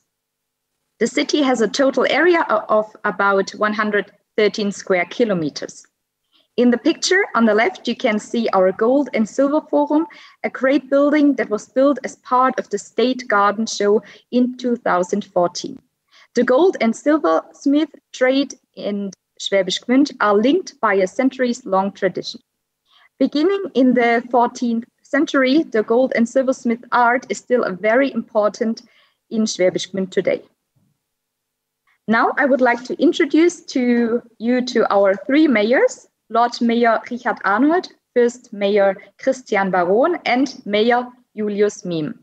In our city, we have 52 elected members of the municipal council and 120 elected members of the 11 districts of Schwäbisch Gmünd. In the picture below, you can see all these political representatives. On the, on the left of the picture, you can also see our municipal coat of arms. It is a silver unicorn raised in red. The town flag is also white and red, and a unicorn is already documented on a town seal in the 13th century. At this point, I would like to give you a brief overview of various institutions that belong to our city. We have a municipal drainage company, the Stadtgarten Congress Center, and the Hospital Foundation. The Schwäbisch Gmünd City Administration consists of three departments as well as a staff council. Today, I would like to introduce you to Department 1, for which Lord Mayor Richard Arnold is responsible. The departments of human resources, internal administration, economic development, culture, but also the Office for Sustainable Development, Climate Protection, and Citizen Participation are part of it. Part of this department are these five people Franka Zanek is the head of the office. Inga Adam coordinates the municipal development policy. Lorena Brico assists all the team members. Anya Tam is the mobility manager. And Chiara Chris is our climate manager. The positions of the coordinator for municipal development policy, the mobility manager, and the climate manager were initially project positions financed by federal funds. These could also be described as lone wolves with sustainable cross-sectional tasks that fall under municipal responsibility. However, for the City Council as well as the Lord Mayor of Schwäbisch Gmünd, there was a need for sustainable development in our city.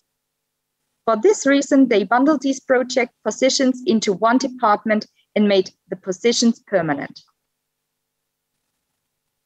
At the, this point, I would like to present the idea uh, behind the foundation of our department. This is the, loca- uh, the local implementation of the Sustainable Development Goals, development policy, mobility, and climate protection. The mission is to strategically bundle the existing concepts and measures and to create the basis for further planning. In doing so, we want above all to be an impulse generator, motor, and think tank. We network the internal and external partners at the location and also network ourselves locally, nationally, and internationally. In order not to get stuck in the pure planning phase, we always think that our target group and use the bottom up principle. It is also important for us to translate these important issues and to take people along with us in factual and communicative way. We are sure that this is how we can drive forward a sustainable urban development process. Now, I would like to show you examples of how we can achieve sustainable change in the city through citizen participation. On the one hand, informative citizen participation is important to us. We achieve this through our own online platform, Gmünd für morgen, Gmünd for tomorrow, and prepare all important information there. Dialogue-based citizen participation also plays an important role for us. Citizens can reach us at any time via contact form and share their thoughts, which um, are then directly recorded in the team. We would also like to involve the citizens in our mission in terms of financial participation. There is the possibility to donate, to donate one euro per month to the city of Schwäbisch Gmünd and also to participate in deciding how we invest the money. In addition, it is of course po possible to participate financially in climate partnerships and funds. Together with committed citizens, we have formed working groups with the aim of actively involving them in the decision making process. A climate council was formed, a working group on mobility issues, and a working group on One World. Another example of our agenda, Gmünd 2035, was a joint visit to the Spring Trade Fair in Stuttgart. The themes of this fair were slow food, sustainability, and fair trade. Currently, the Office for Sustainable Development, Climate Protection, and Citizen Participation is also in the process of developing further workshops as part of the Gmünd Agenda 2035. The city of Schwäbisch Gmünd also participated in the European Energy Award the starting point was a municipal climate action plan and a strategy for a municipal development policy until 2030. The fields of action where um, we are pursuing include climate neutral heating, renewable energy, green mobility, and global responsibility. We also carried out a pedestrian traffic check this involved a kick-off workshop with citizens in autumn and winter 2020. Representatives of the interest groups inclusion, senior, citizen, and integration were involved. The aim was to find a common definition of the critical places in the southern part of Schwäbisch Gmünd. A final workshop that took place on um, 5th of April this year, during which the first measures were implemented with minimal effort but maximum success. Also, a municipal cycle route plan has also been developed here in our city. The introduction of e-scooters this, um, this spring uh, is another example. You can see it here in this picture.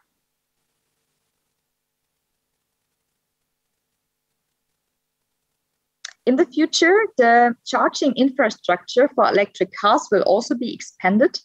The picture shows a charging station in front of our city administration building.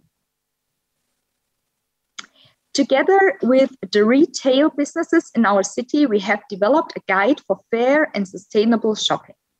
This shopping guide can be used to find particularly sustainable and fair trade products and services. The city of Schwäbisch Gmünd also cooperates with the startup Greenventory.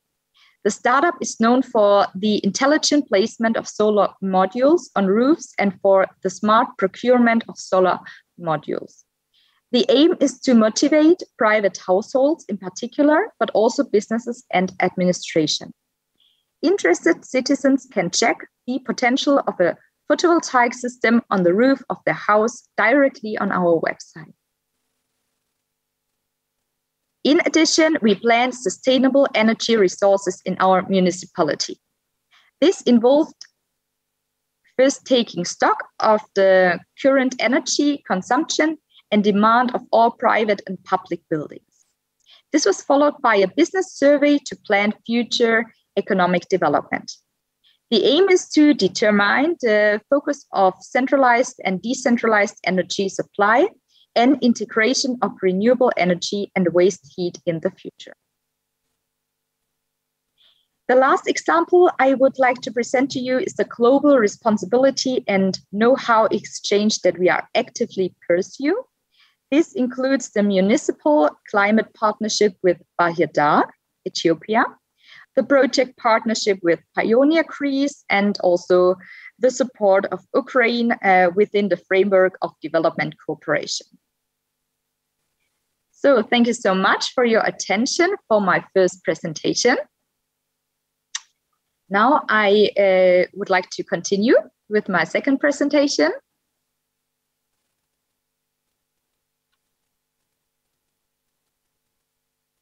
I'm happy that um, I'm also allowed to present you our Aid to Aspen pilot project here. Um, Aspen is a sustainable technology and industrial park of the future with a focus on hydrogen blend uh, in our city and located in the green hydrogen model region in the state of Baden-Württemberg. Um, this industrial park is not only important for the city of Schwäbisch Gmünd, but also for our country Ostalbkreis and the entire region of, Schwe of Ostwürttemberg. The industrial park is intended ex exclusively for companies in future technologies, for example, hydrogen, semiconductors, battery cells, etc., and is to, um, to be supplied with 100% renewable energy. This agenda guides us through the presentation. I would like to start directly with the presentation of the location.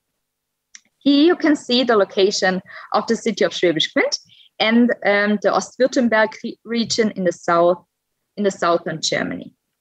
The Ostwürttemberg region is located in the east of our federal state of Baden-Württemberg and borders on the federal state of Bavaria. Strategically, we are located on an axis, as you can see here, where large plants and companies are located, such as Daimler in Stuttgart or BASF in Ludwigshafen, which we will have a need for hydrogen in the future.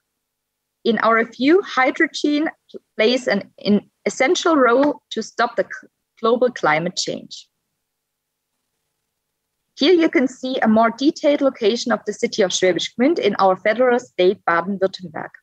The distance to the airport in the state capital Stuttgart is approximately 50 minutes.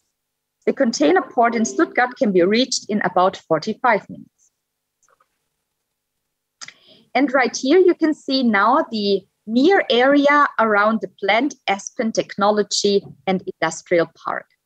On the left, you can see the largest contiguous industrial area in Ostwürttemberg region called Gügling. The Aspen Technology and Industrial Park is to be built in the direct neighborhood. Many large and successful companies have settled in the existing Gügling Industrial Park, which you may also have heard of, such as Bosch, automotive uh, steering, voestalpine, automotive components, Magna Steyr, fuel systems, and many more. Almost all those companies here are suppliers to the automotive industry and find themselves in a classic industrial area of the 20th century. Now here you can see the first step of the required development plan, procedure, and construction law. In December 2021, the Municipal Council unanimously gave green light for further planning of the Sustainable Technology Park. The area is going to be developed in two parts. The left orange part is 420,000 square meters wide and has uh, 280,000 square meters on of net building land. The green spaces are deliberately generously planned. The right blue part will be planned as required from 2025 on. At this point, I would like to present you a few um, key data on Schwäbisch Gmünd as a business location. The Gügling industrial area is approximately 1,220,000 square meters in size. More than 60 companies are located there and employ over 4,000 people. The share of manufacturing and producing industry is 9% above our national average. Moreover, young, uh, many young people work there. Here we are 6% over national average. This location is undergoing a high level of transformation. The companies that exist there are not only struggling with a change in the automotive industry, but also have to adapt to the current situation of the corona pandemic, digital process, climate protection goals, and now also the, the effects of the, the tragic war in Ukraine, where all um, where we all have to face even more consequences in the fossil energy sector. The future elimination of fossil energies will accelerate these transformation processes. With Aspen, we would like to offer companies the opportunity to realign their product processes and company orientation step by step alongside their ongoing operations, because transformation and change is an ongoing process with cannot, which cannot be handled one day to the next. This, genau. The city of Schwäbisch Gmünd has applied for several funding programs to realize Aspen. In this context, I, in this context, I would like to mention the European Regional Development Fund and our model region Green Hydrogen Baden-Württemberg, which is uh, funded additionally through the state of Baden-Württemberg. The H2 Aspen Technology Park in Schwäbisch Gmünd is one of four projects in this model region and is going to be completed in stages until 2024. The focus here is on an 8.5 megawatt hydrogen electrolysis plant that is going to produce up to 2,500 kilogram of hydrogen per day. This would be enough to drive a car around Earth about five times every day. With the funding and the financial resources we receive, we um, are able to build this 8.5 megawatt hydrogen electrolyzer. In addition, we are able to connect the electrolyzer to the municipal gas grid via a national gas pipeline. The funding also includes the construction of the gas storage facilities and a public hydrogen filling station to fuel up cars, buses, or trucks with hydrogen. In total, we will receive funding about 10 million euros. This corresponds to a funding rate of approximately 50%. In addition, we will receive uh, 400,000 euros in funding as part of the HyExperts Federal Funding Program in Germany. This corresponds to a funding rate of 100%. We will use this fund to develop regional hydrogen concepts. Also, we would like to build up and strengthen a regional hydrogen network and use the fund to commission the necessary consulting, planning, and services. In order to implement the technology park, various in infrastructural framework conditions also have to be thought of. There are considerations to establish a local container station in a neighboring municipality. This container station could be connected to Aspen by a rail link or a smart monorail system so that goods can be transported by rail in a climate neutral way. In order to think of the technology side in a complete sustainable manner, not only the companies play a big part, but also their transportation systems. In the area lies a national gas pipeline, seen here in red, which will later be um, of great importance for the transport of hydrogen. Currently, natural gas runs through this gas pipeline. In order to achieve our national aspirations of fossil energy ind independence, there are already concrete plans to convert this natural gas pipeline for hydrogen transport by 2030. The supply of water to the industrial park is ensured by a national, nationwide water connection system seen here in blue. Renewable energies are of great importance for this new industrial park. There are already solar, wind, and biogas plants in the near area of Aspen but due to very special characteristics of German electricity market, they cannot be used directly for the industrial park. However, there are, um, there are concrete plans in progress to expand new solar and wind power plants that can supply Aspen directly with renewable energy. The energy supply company Energy Baden-Württemberg has analyzed the open spaces for photovoltaic in Schwäbisch Gmünd as part of a potential assessment and comes up with a potential of 185 megawatt.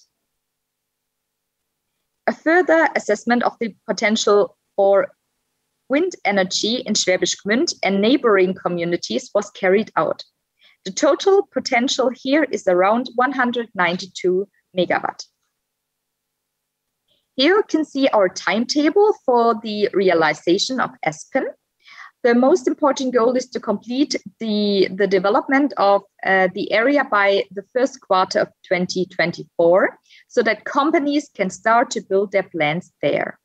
Our goal is to enable a production for the companies in the first or second quarter of 2025.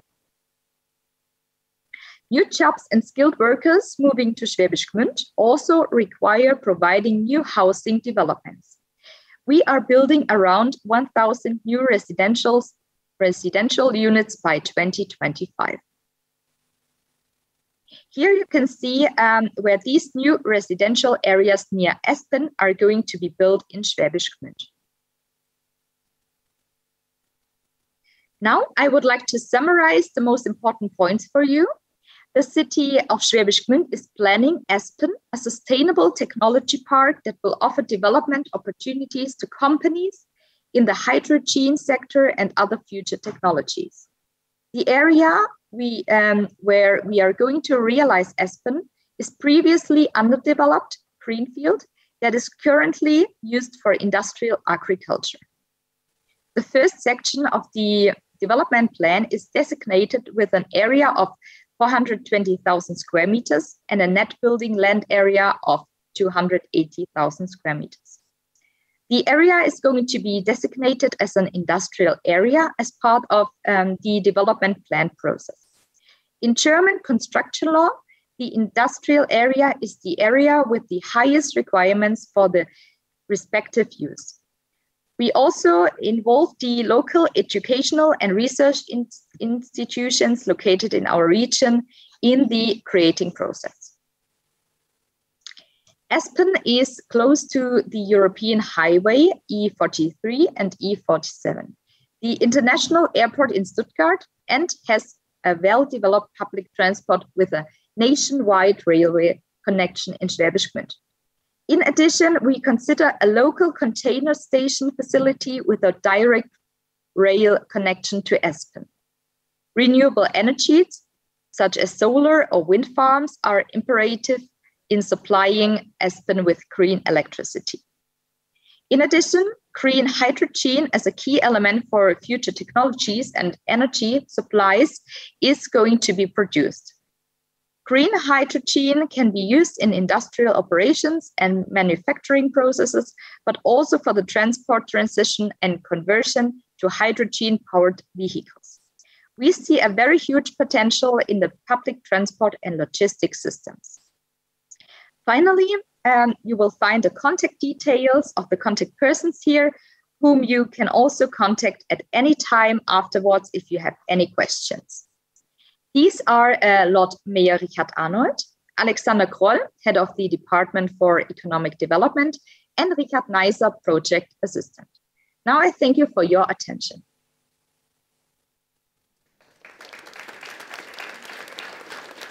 Tisztelt Hölgyeim és Uraim, tisztelt megjelentek. Egy pici technikai problémával szembesültünk így az Distinguished ladies and gentlemen, we have, we have a slight hedge, technical hedge. Now we shall swap order and then may I invite Gabor Csete to deliver his presentation and then we hope to be able to give the floor to Mr. Smolinski from Opole. Tisztelt üdvözlök mindenkit! online. May I extend my heartfelt welcome to everyone here uh, in this ballroom and also to in the online space.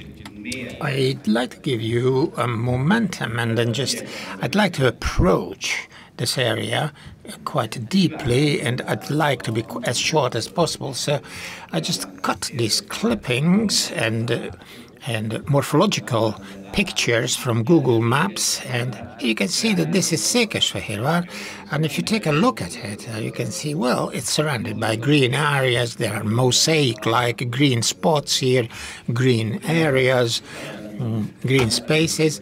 But if you take a closer look of these cross sections, well, these are habitats and zones close to nature that are part of this fiber, this urban fiber, either directly or indirectly, and these are under natural protection, which is which are really very important to retain in respect of climate protection and for our own health as well. So, if we take an even closer look, this is what we talk about today. Well, then due due to the number of the global population of 8 billion and also the food chain, well, natural habitats disappear.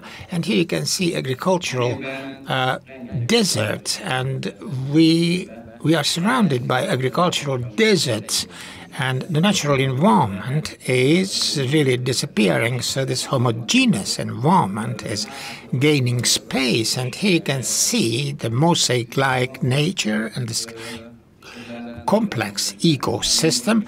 And we have a lot to do now. Well, we're just just outside the town in our agricultural area surrounding the town. Well, this is where life really begins this is a very good chart because uh, what I wanted to show you in the previous slides, well, this is really a view of agriculture from an ecological point of view. Well, there are small allotment agriculture and also the species centered view and relating technologies and the introduction of all these well, at the moment, this is where we are, not only in Hungary, but all over Europe in many places. And the reason why we have homogeneous areas is really this. So we'd really like to make these uh, spots disappear, but Homo sapiens is a species that is trying to destroy what uh, they have built so far. So it's really very important for us to cultivate to smartly cultivate and retain these areas. So these are gardens of Eden, and they are just in the midst of uh, various habitats. We are part of these habitats. We are part of agriculture, but at the background you can see this homogeneous area, which is just not a monocultural. This, this, this is, we, we can't speak of diversity. So this is why it's very important for us to retain these ecological zones too, to protect them and also to develop them. This is really a very nice process for experts. Fundamentally, uh, what uh, other opportunities do we have in addition to protecting these natural habitats? We need to come up with uh, technologies and uh, support system uh, that uh, are capable of uh, supporting these areas and are adjusted to these habitats, including organic, organic grassland management, you can uh, breed animals, you can graze animals. These areas are mowed twice a year with uh, proper principles. Uh, here you see a type of mowing uh, with alerts. Uh, um, the uh, forest areas, which are around 60 uh, hectares around uh, um, and keep growing. Uh, they are nice uh, uh, for uh, climate protection purposes, but they are not the single and only solutions. Székesfehérvár is located in flatland. And you see the type of areas that are connected to it. this is not a high mountain, high for a highly forested area uh, and you need to pay attention to various pillars because uh, one type of habitat will not necessarily be replaced by another. For instance, uh, uh a marshland is never replaced by a forest. Um, so we need to be very meticulous and very considerate in planning. I don't want to give you a lot of detail let me show you uh, the protected ecological zones. What do they look like uh, from a bird's eye view or from closer? Here we have the Saline Lake, uh, It is uh, in the context of the city, in the context of an urban requirement. Uh, it's a very diverse, uh, colorful, pulsating green area inside the city a true green heart. I will not go down to species level, but all the pictures were taken um, in the area. If we pay proper attention uh, through planning and maintenance, uh, and we aim for maintaining the diversity of the flora and fauna of the area, we can uh, maintain a level of diversity that you see in the picture, but all of your efforts are needed to achieve that. These are in the outskirts, these are areas in the outskirts wedged between agricultural uh, uh, plots and land. I don't want to tell you all of the species. Uh, these are areas of 90 hectares, 18 hectares, uh, which are nature conservation zones uh, or natural zones, uh, which uh, we do not necessarily maintain as we do with the Saline Lake of Sóstó, where there is also a study trail.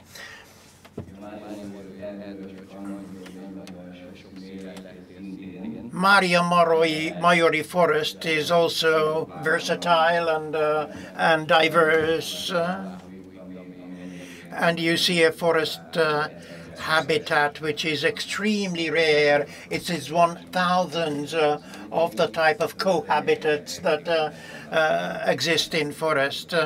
And these are reservation level forests. And the areas left alone and the powers of nature are at play on only. These are the areas and the related uh, uh, ecosystem species, uh, flora and fauna will have to be reintroduced into nature. What am I talking about? These are um, offhand examples uh, uh, located in Székesfehérvár. you need to create turf and grassland uh, which are in nature. Uh, it is an important duty. These are green surfaces in parkland, providing uh, an optics uh, which should be converted into a, main, a sustainable level so as uh, not to reflect uh, the consequences of climate change. And when we uh, select perennial plants, it is very important uh, uh, to uh, to focus on the species. And if you select the proper perennial plants, maintenance will be much easier along the year, and it'll provide a glamorous vision to tourists. There are a few examples in Hungary, but it is important to operate uh, stormwater gardens uh, in Hungary. Uh, uh, these are services uh, that store sudden surges uh, of stormwater. This capture and retain the water, and this water can be used and uh, utilized. So these are habitats. Uh, which are nature habitats, and you also you can plant them or leave them alone, and uh, uh, and function as a natural ecosystem. But design is key and you have to think twice about where to locate this. This is a good example, the reconstruction of the saline lake of Sosto. Uh, this, these images show you um, um, more nature-friendly uh, picture. This is purified uh, sewage or wastewater, purified uh, wastewater is a very important technology promoted by NGOs and uh, experts uh, uh, to politicians so that we use these grey waters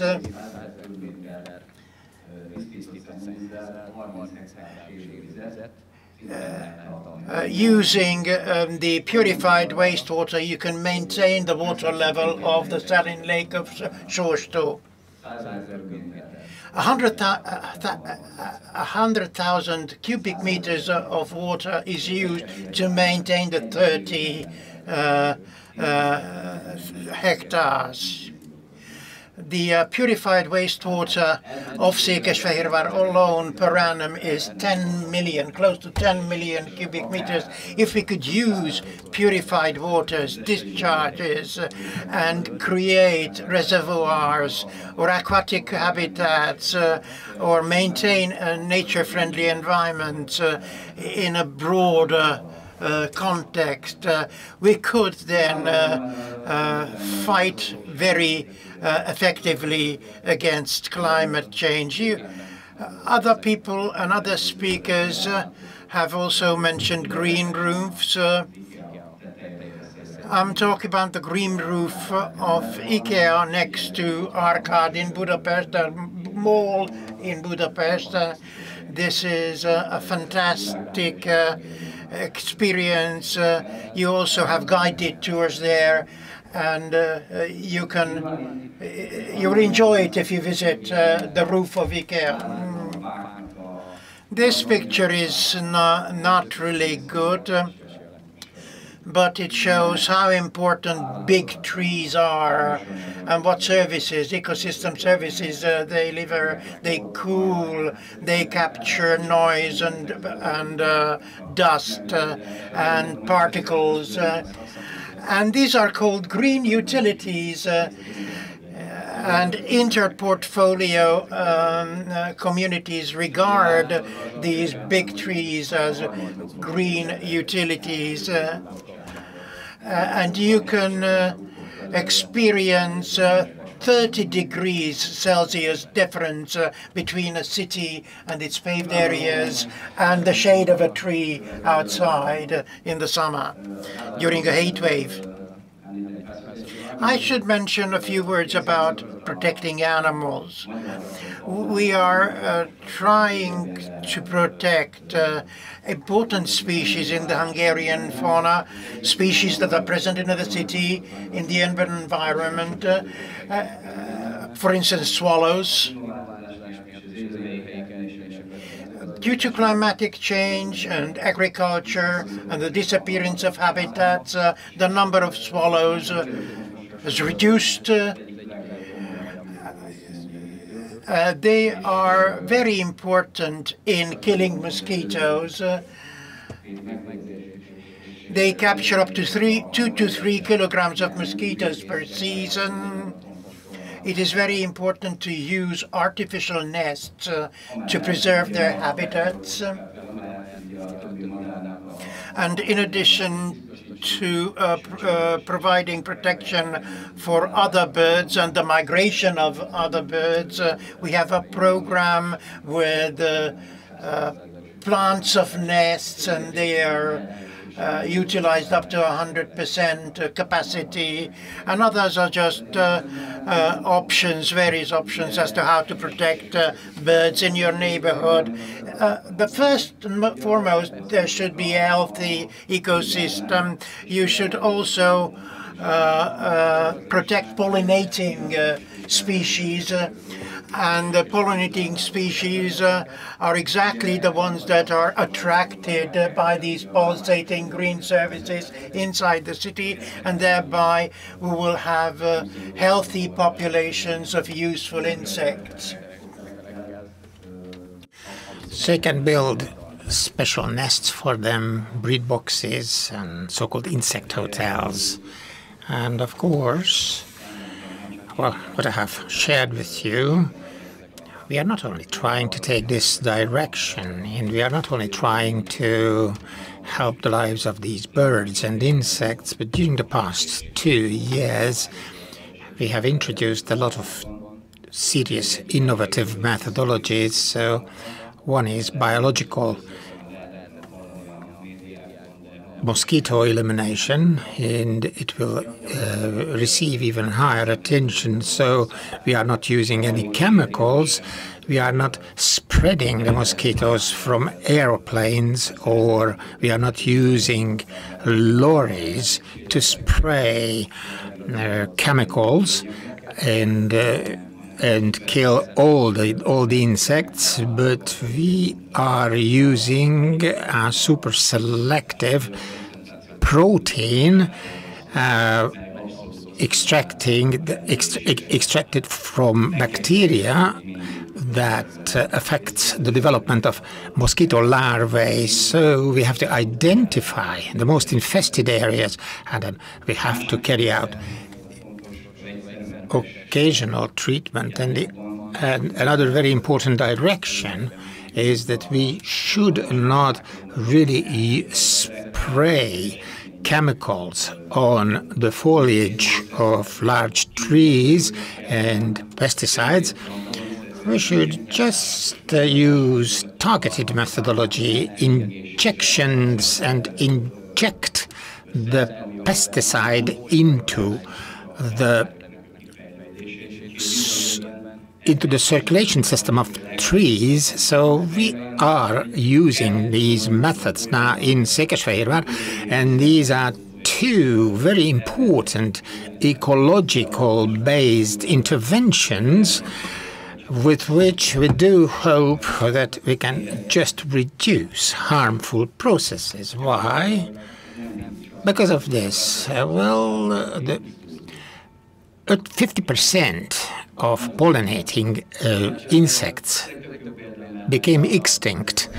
And if these pollinating insects and bees the number of them reduce is reduced. So this is what a picnic will look like. So we shall not have guacamole. We are not going to be able to make salsa. We shall have no watermelon, and uh, we we shall end up with a lack of coffee. So we have to think over the selection of these methodologies and also the retention and maintenance of natural habitats, because nobody would really like to keep the habitats uh, alive like they do in China, so they use small brushes to fertilize uh, the trees in, in, in blossom. And another technology is the nanotechnology based robots. Nobody would really like these robots to fly about in your environment to fertilize these plants. But we are close to this because, of course, this is a picture of a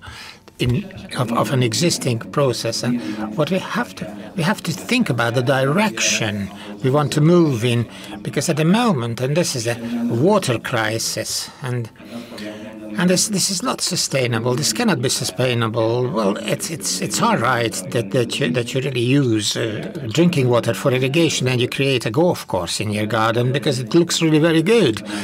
Uh, and it looks green, but similarly to agricultural fields, these, these, these are homogeneous areas.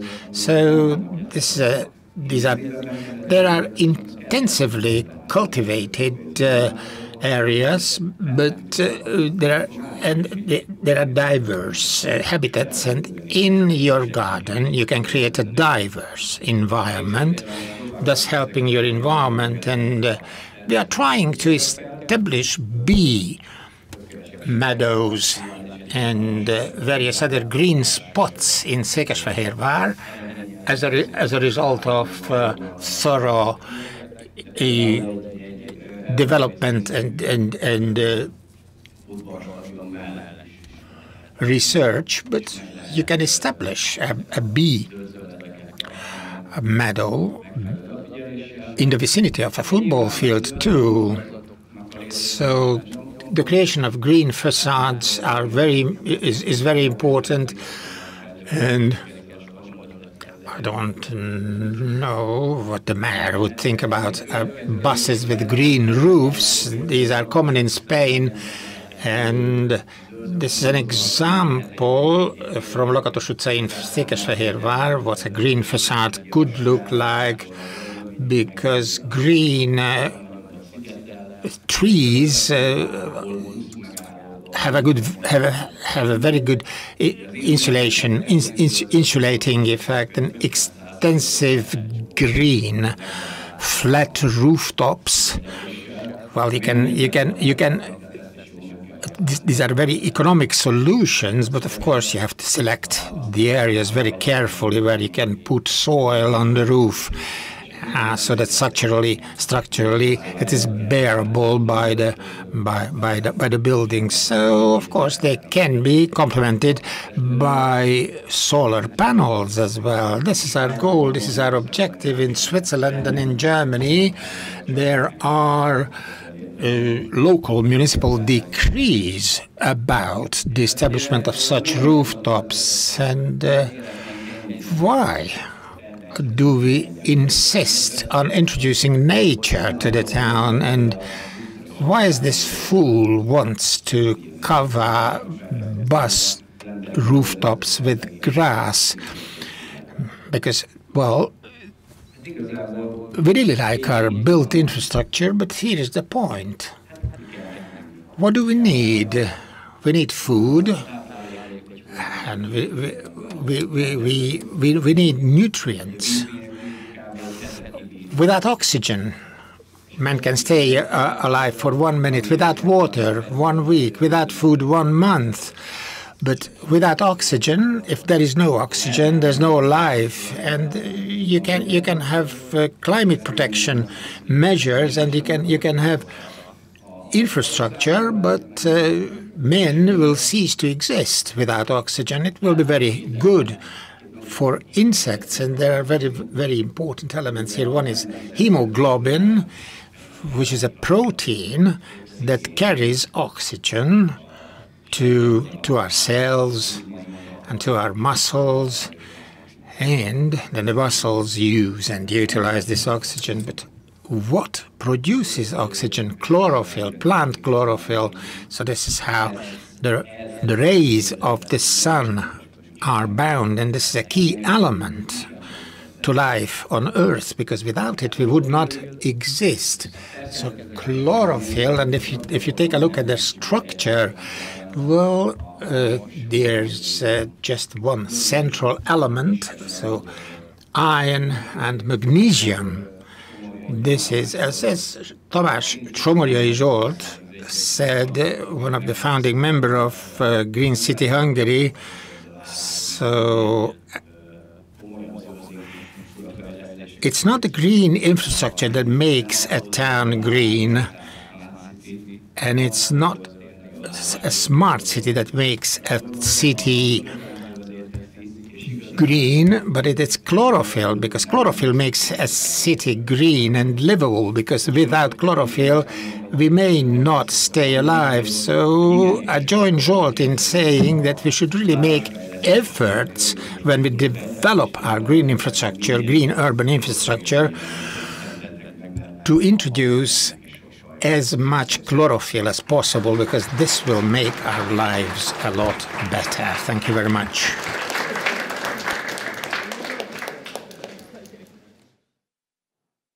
Hölgyeim és Uraim, nagyon szépen köszönjük. Ladies and gentlemen, we thank Gabor Csete for the presentation. And it seems our efforts uh, have been crowned with success. And we have uh, uh, Mr. Smolensky uh, waiting. My name is Sebastian Smolinsky. I'm representing the city of Opole. Mm, and I would like to tell you about our actions uh, with animals at the green fields of uh, Opole. Mm, as you can see, the title of our presentation is Animals Protection Equipment in the Greenfield sites of Opole. And you may think why this topic, uh, we think it's very important for us uh, that the um, animals are the main issue in uh, city um, habitat, not just the plants, but also the, the animals. And because the um, climate change uh, refers to everything, including animals, um, we have to um, make many uh, important actions just to help them to uh, live in our city in habitat. And as you can see on my presentation, Opole is also a Green City Accord member. So it's, uh, it's uh, just a good topic uh, for your conference. Um, something about our uh, greenlands of Opole. Um, we have in Opole three uh, conservation zones. Uh, one of them is uh, Grudzicki Ground Forest. It's the last um, Odra River Valley forest, uh, which we have to uh, protect. Um, many actions about this uh, forest cannot be taken uh, such as uh, mm, we um, do not cut the trees in, in this forest. Um, where they collapse, we just uh, let them stay there and, and rot for another animals. Um, the second conservation zone in Opole is the meadows of NWK, which is a, a name of a um, city uh, suburb.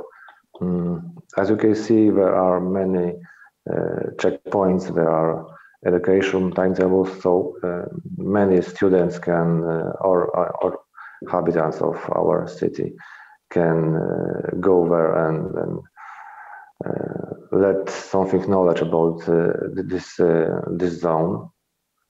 Mm last of this of our conservation zone is a stone pit called Piast. Um, it was the um, old mining um, stone pit.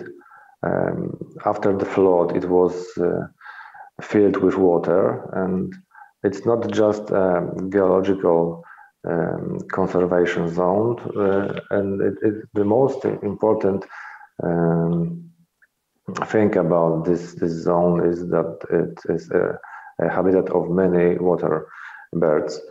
Uh, so, uh, in this uh, occasion, it has to be protected. Mm. Something about our trees in Opole. There are 30 trees uh, that needs to be uh, protected. The oldest tree in Opole is the, the lime, mm, in Latin, Tilia cordata. Uh, it's the um, uh, his circuit is 600 centimeters. We think it's about 600 years old. The main issue of this tree is that uh, during the storm, the main branches of this uh, tree was broken. Mm, so we have to, the lower branches uh, has to be stood up, but this construction, as you can see on the on the slide. Greenlands of Opole, almost uh, 2,000 hectares in total, but not all the um, Greenlands are the property of the city. There are 140 hectares of Greenlands, uh, which is the property of the city. Uh, 150 hectares of land Greenlands, which is also the property of the city. Uh, uh, 20 hectares of municipal forest, uh, and the rest is the, the, the private, private property. Here are some photos of our Greenlands, just like you can see. Mm, during the, the presentation and the topic about animals, uh, the, the um, we think the most important thing about uh, animals in the city habitat is that we have to uh, help them. We think that the animals were the first inhabitants of these lands. Uh, we are the guests of this this, this uh, lands, so we have to protect them and we have to help them. Uh, and uh, to do that, we have a contractor. It's a, it's a uh, a veterinary uh, doctor uh, who is on this on this job 24 hours for seven, and when we need his help, he's just arriving and helping um, the animals. Uh, the main problem is uh, car collisions and with uh, deers or, or hogs. Uh, all kinds of animals are in our city, so every day there's there's a, this situation that we have to use our veterinary to help them. Uh, about our infrastructure with the, the Greenlands, um, about our equipment for for uh, animals, uh, it's maybe not such a big thing with the breeding boxes, but we have about 800 pieces of them in the whole city. We have them in the, the parks or also on, on buildings uh, for many, many um, species of birds, from the small birds, also for the predators like uh, hawks. Um, we think that uh, every year we have to clean them and uh, about 80% uh, population is inhabited in, in these uh, boxes. Mm. But breeding boxes, we are very proud of this this action. Um, most of the people are scared of bats. We don't uh, scared of them. We love them, so we have to help them, and we put about 150 um, uh, breeding boxes in our forests. Uh, so just to uh, help them to breed and, and to uh, sleep in the winter. Uh, water holes and feeders for the birds. Uh, almost every our Greenland is has to have a water holes and feeders. Um, as you know, uh, climate change refers to also the highest temperature in, in the city. So just to ensure that the birds are uh, can drink and can uh, find the food, uh, we put those uh, equipment in our lands just to help them um, to stay in the city. Hedgehog shelters. Um, almost uh, every park in the city has um, these hedgehog shelters. Um, and uh, as you can see, there are education tables, not to uh, just to, to inform the citizens that uh, uh, it's, it's, it's a special place for the hedgehogs and um, do not disturb them. We are sleeping in the winter, so it's important just for the children to know about that. Flower beds for bees. Um, our moths are not uh, um, every every month. We just let the the the grass to uh, make flower beds just just for for insects or, or bees. Um, and it's uh, also important just um, for education of the citizens. Um, many many education tables are there, and uh, it's not just uh, aesthetical um, experience. It just uh, it is important for the for the bees, for the butterflies, and many other insects. Mm. There are greenlands um, when the, where we have to mow the lawn, uh, so we put there uh, insect hotels.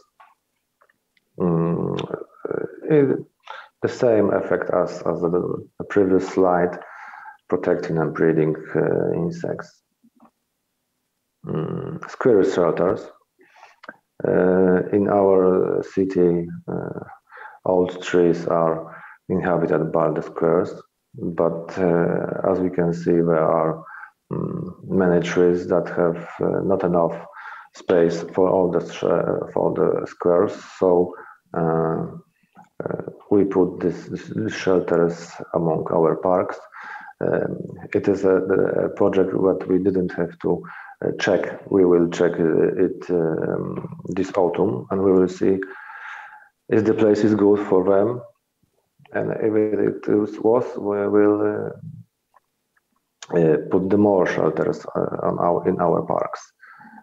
Uh, white skull shelters. Um, it's it's important uh, not only to to give the shelter in in our uh, city, but uh, many organization is founding by us uh, just to uh, feed them, just to help them, and to sterilize them, so the population for wildcats will be not too big for our our our city.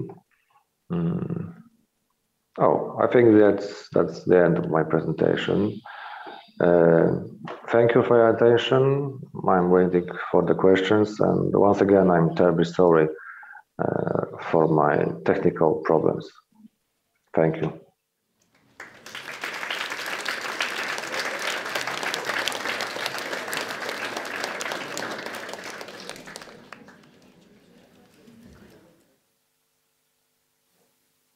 Hölgyeim és Uraim, nagyon szépen köszönöm. Ladies and gentlemen, thank you very much, Mr. Smolinski, uh, for, for his presentation. And I would like to express my thanks to every one of our speakers for their high quality and excellent presentations. And now there is an opportunity, as I have mentioned earlier, uh, now, we, now we have the opportunity to address our Hungarian speakers with questions, those who were here in the ballroom with us. So about the climate strategy or the or the Langzafehérvár program or uh, pertaining to ecological programs, and we have three Hungarian speakers.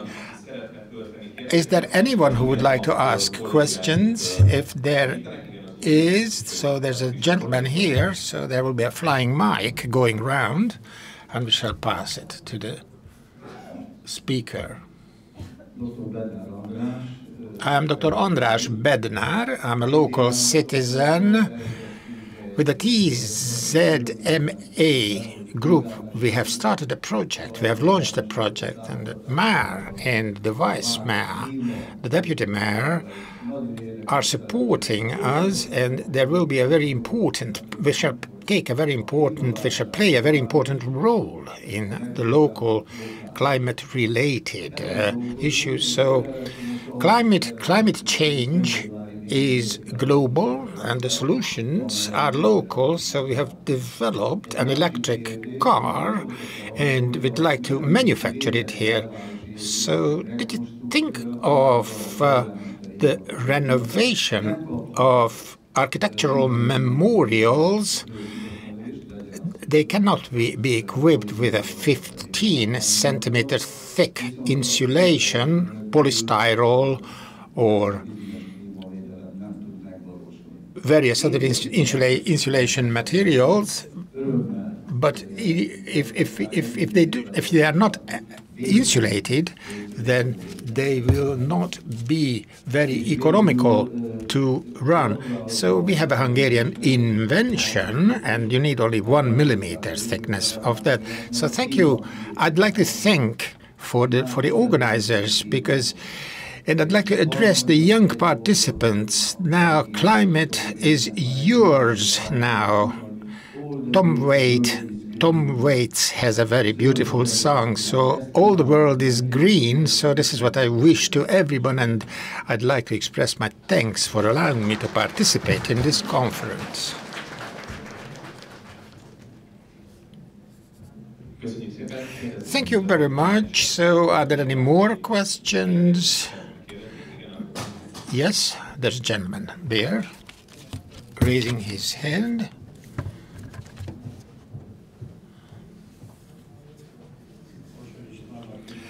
I'm István Balsai, and the reason why I am speaking now, I have other opportunities to express my opinions. Uh, as a compliment to the presentations, it's really very important. Uh,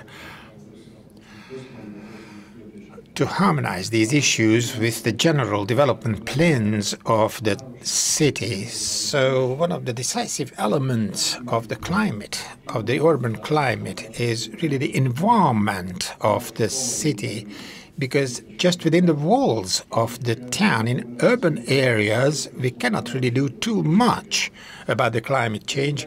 We have to address this issue to get together with the natural environment. So there's the Moor Gorge, for instance. So the prevalent wind is a westerly wind, and there's a motorway and also uh, it is planned that there will be a motorway constructed there and also a main railway line. So we must pay attention to that. And Karstwater, Fehérvár Csurgó is of great value in the vicinity of Székesfehérvár. So I agree on what I heard with uh, treated sewage water, the so-called grey water. So, but there's also another um, methodology in agriculture and also the use of wastewater sludge we have to introduce that too. So uh, new methodologies must be used in the vicinity of Székesfehérvár too. And it's very important among the urban measures that we should really use track the, the, the, the opportunities provided by track-bound transport. So Székesfehérvár is really a very important transport hub earlier, there was only one passenger in every car, and so track-bound transportation should be introduced, connected to the national railway network in Székesfehérvár. And finally, I think as for energy problems, mention is being made on Hungary's oil importation, and Hungary is criticized for that.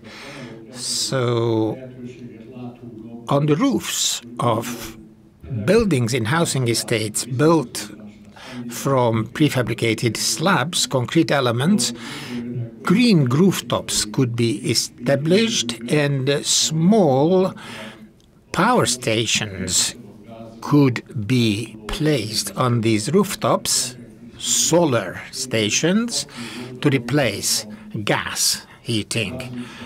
And I was an active employee when there was a gas factory fueled by oil and district heating, and oil was used for district heating. And when it comes to district heating, we have to think of replacement material. And this is my contribution to the climate protection actions taken by the town, which must be harmonized with national plans. Thank you really very much. So, are there any more questions uh, to the speakers? Yes, there is one. Another question. I'd like to address my question to Laszlo Magyar, who mentioned that by 2030, the city of Székesfehérvár will reduce glasshouse gas emission uh, by 30% and uh, compared to which year? So 2019 is the so-called base year. And so the, the sustainable uh, climate action plan contains even a higher percentage of reduction by 2030. And this is necessary because by 2050, Hungary wishes to be climate neutral. This is a very ambitious goal, but uh, measures do not support, or current measures do not support the fulfillment of this uh, of this goal. So this is what we can. Uh, this is what the, what the town of Székesfehérvár can undertake now. And this is why it is part of the climate strategy. But I think it should be a higher percentage, and it would be to my pleasure if it was. So there's another speaker, another person who would like to ask a question. So this young man in blue shirt. So I have a question. I'm not addressing it to any specific speaker. What I'd like to highlight is that we students, we, if we have a suggestion, if we, have a, if we have a recommendation to climate policies, then what are the forums that we can use in order to articulate our opinions?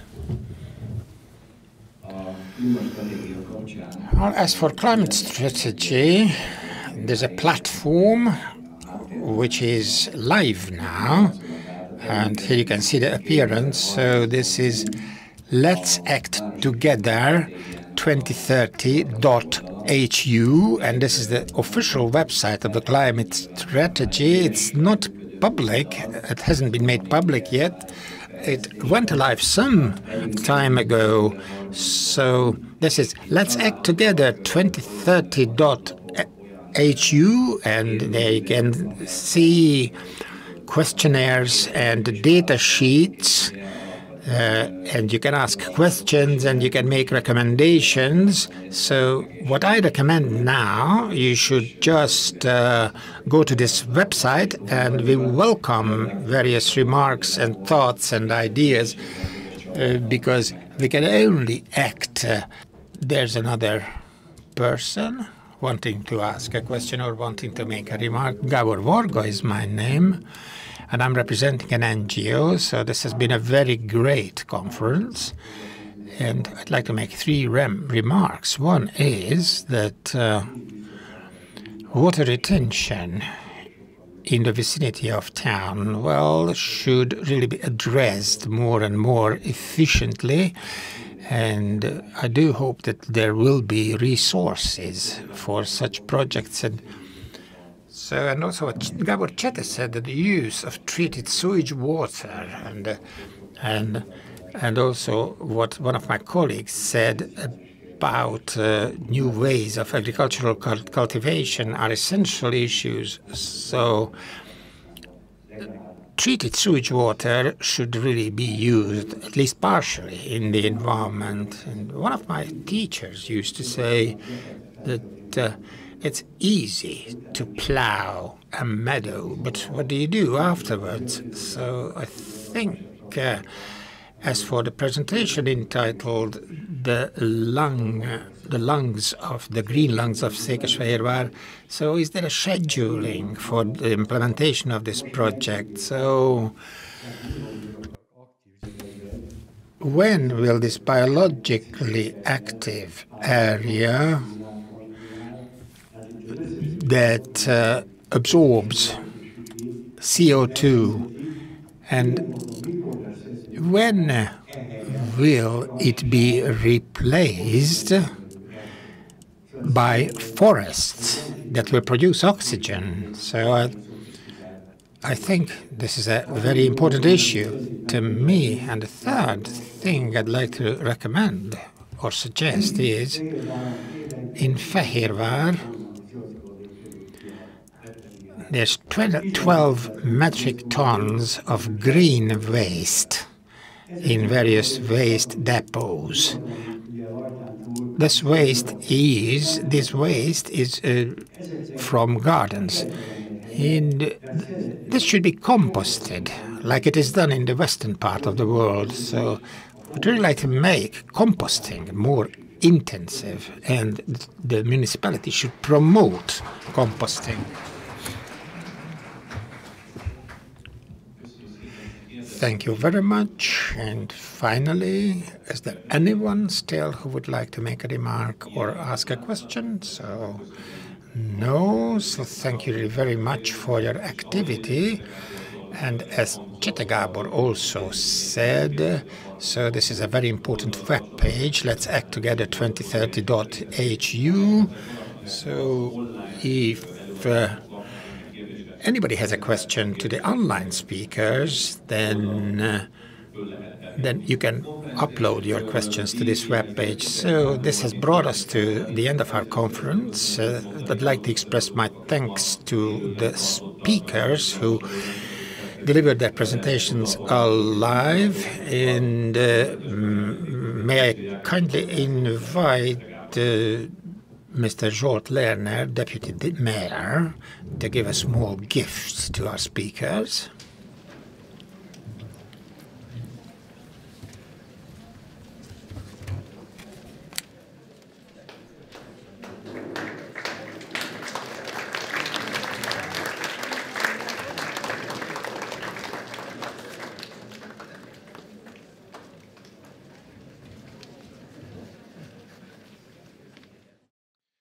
Tisztelt Hölgyeim és Uraim! Distinguished ladies and gentlemen, thank you very much.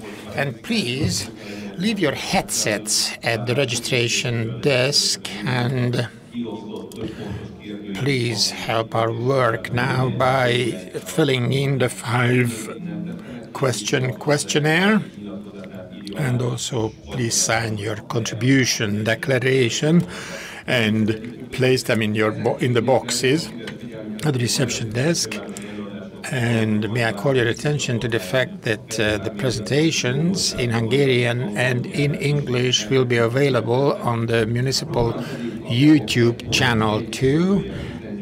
And this is the title of uh, the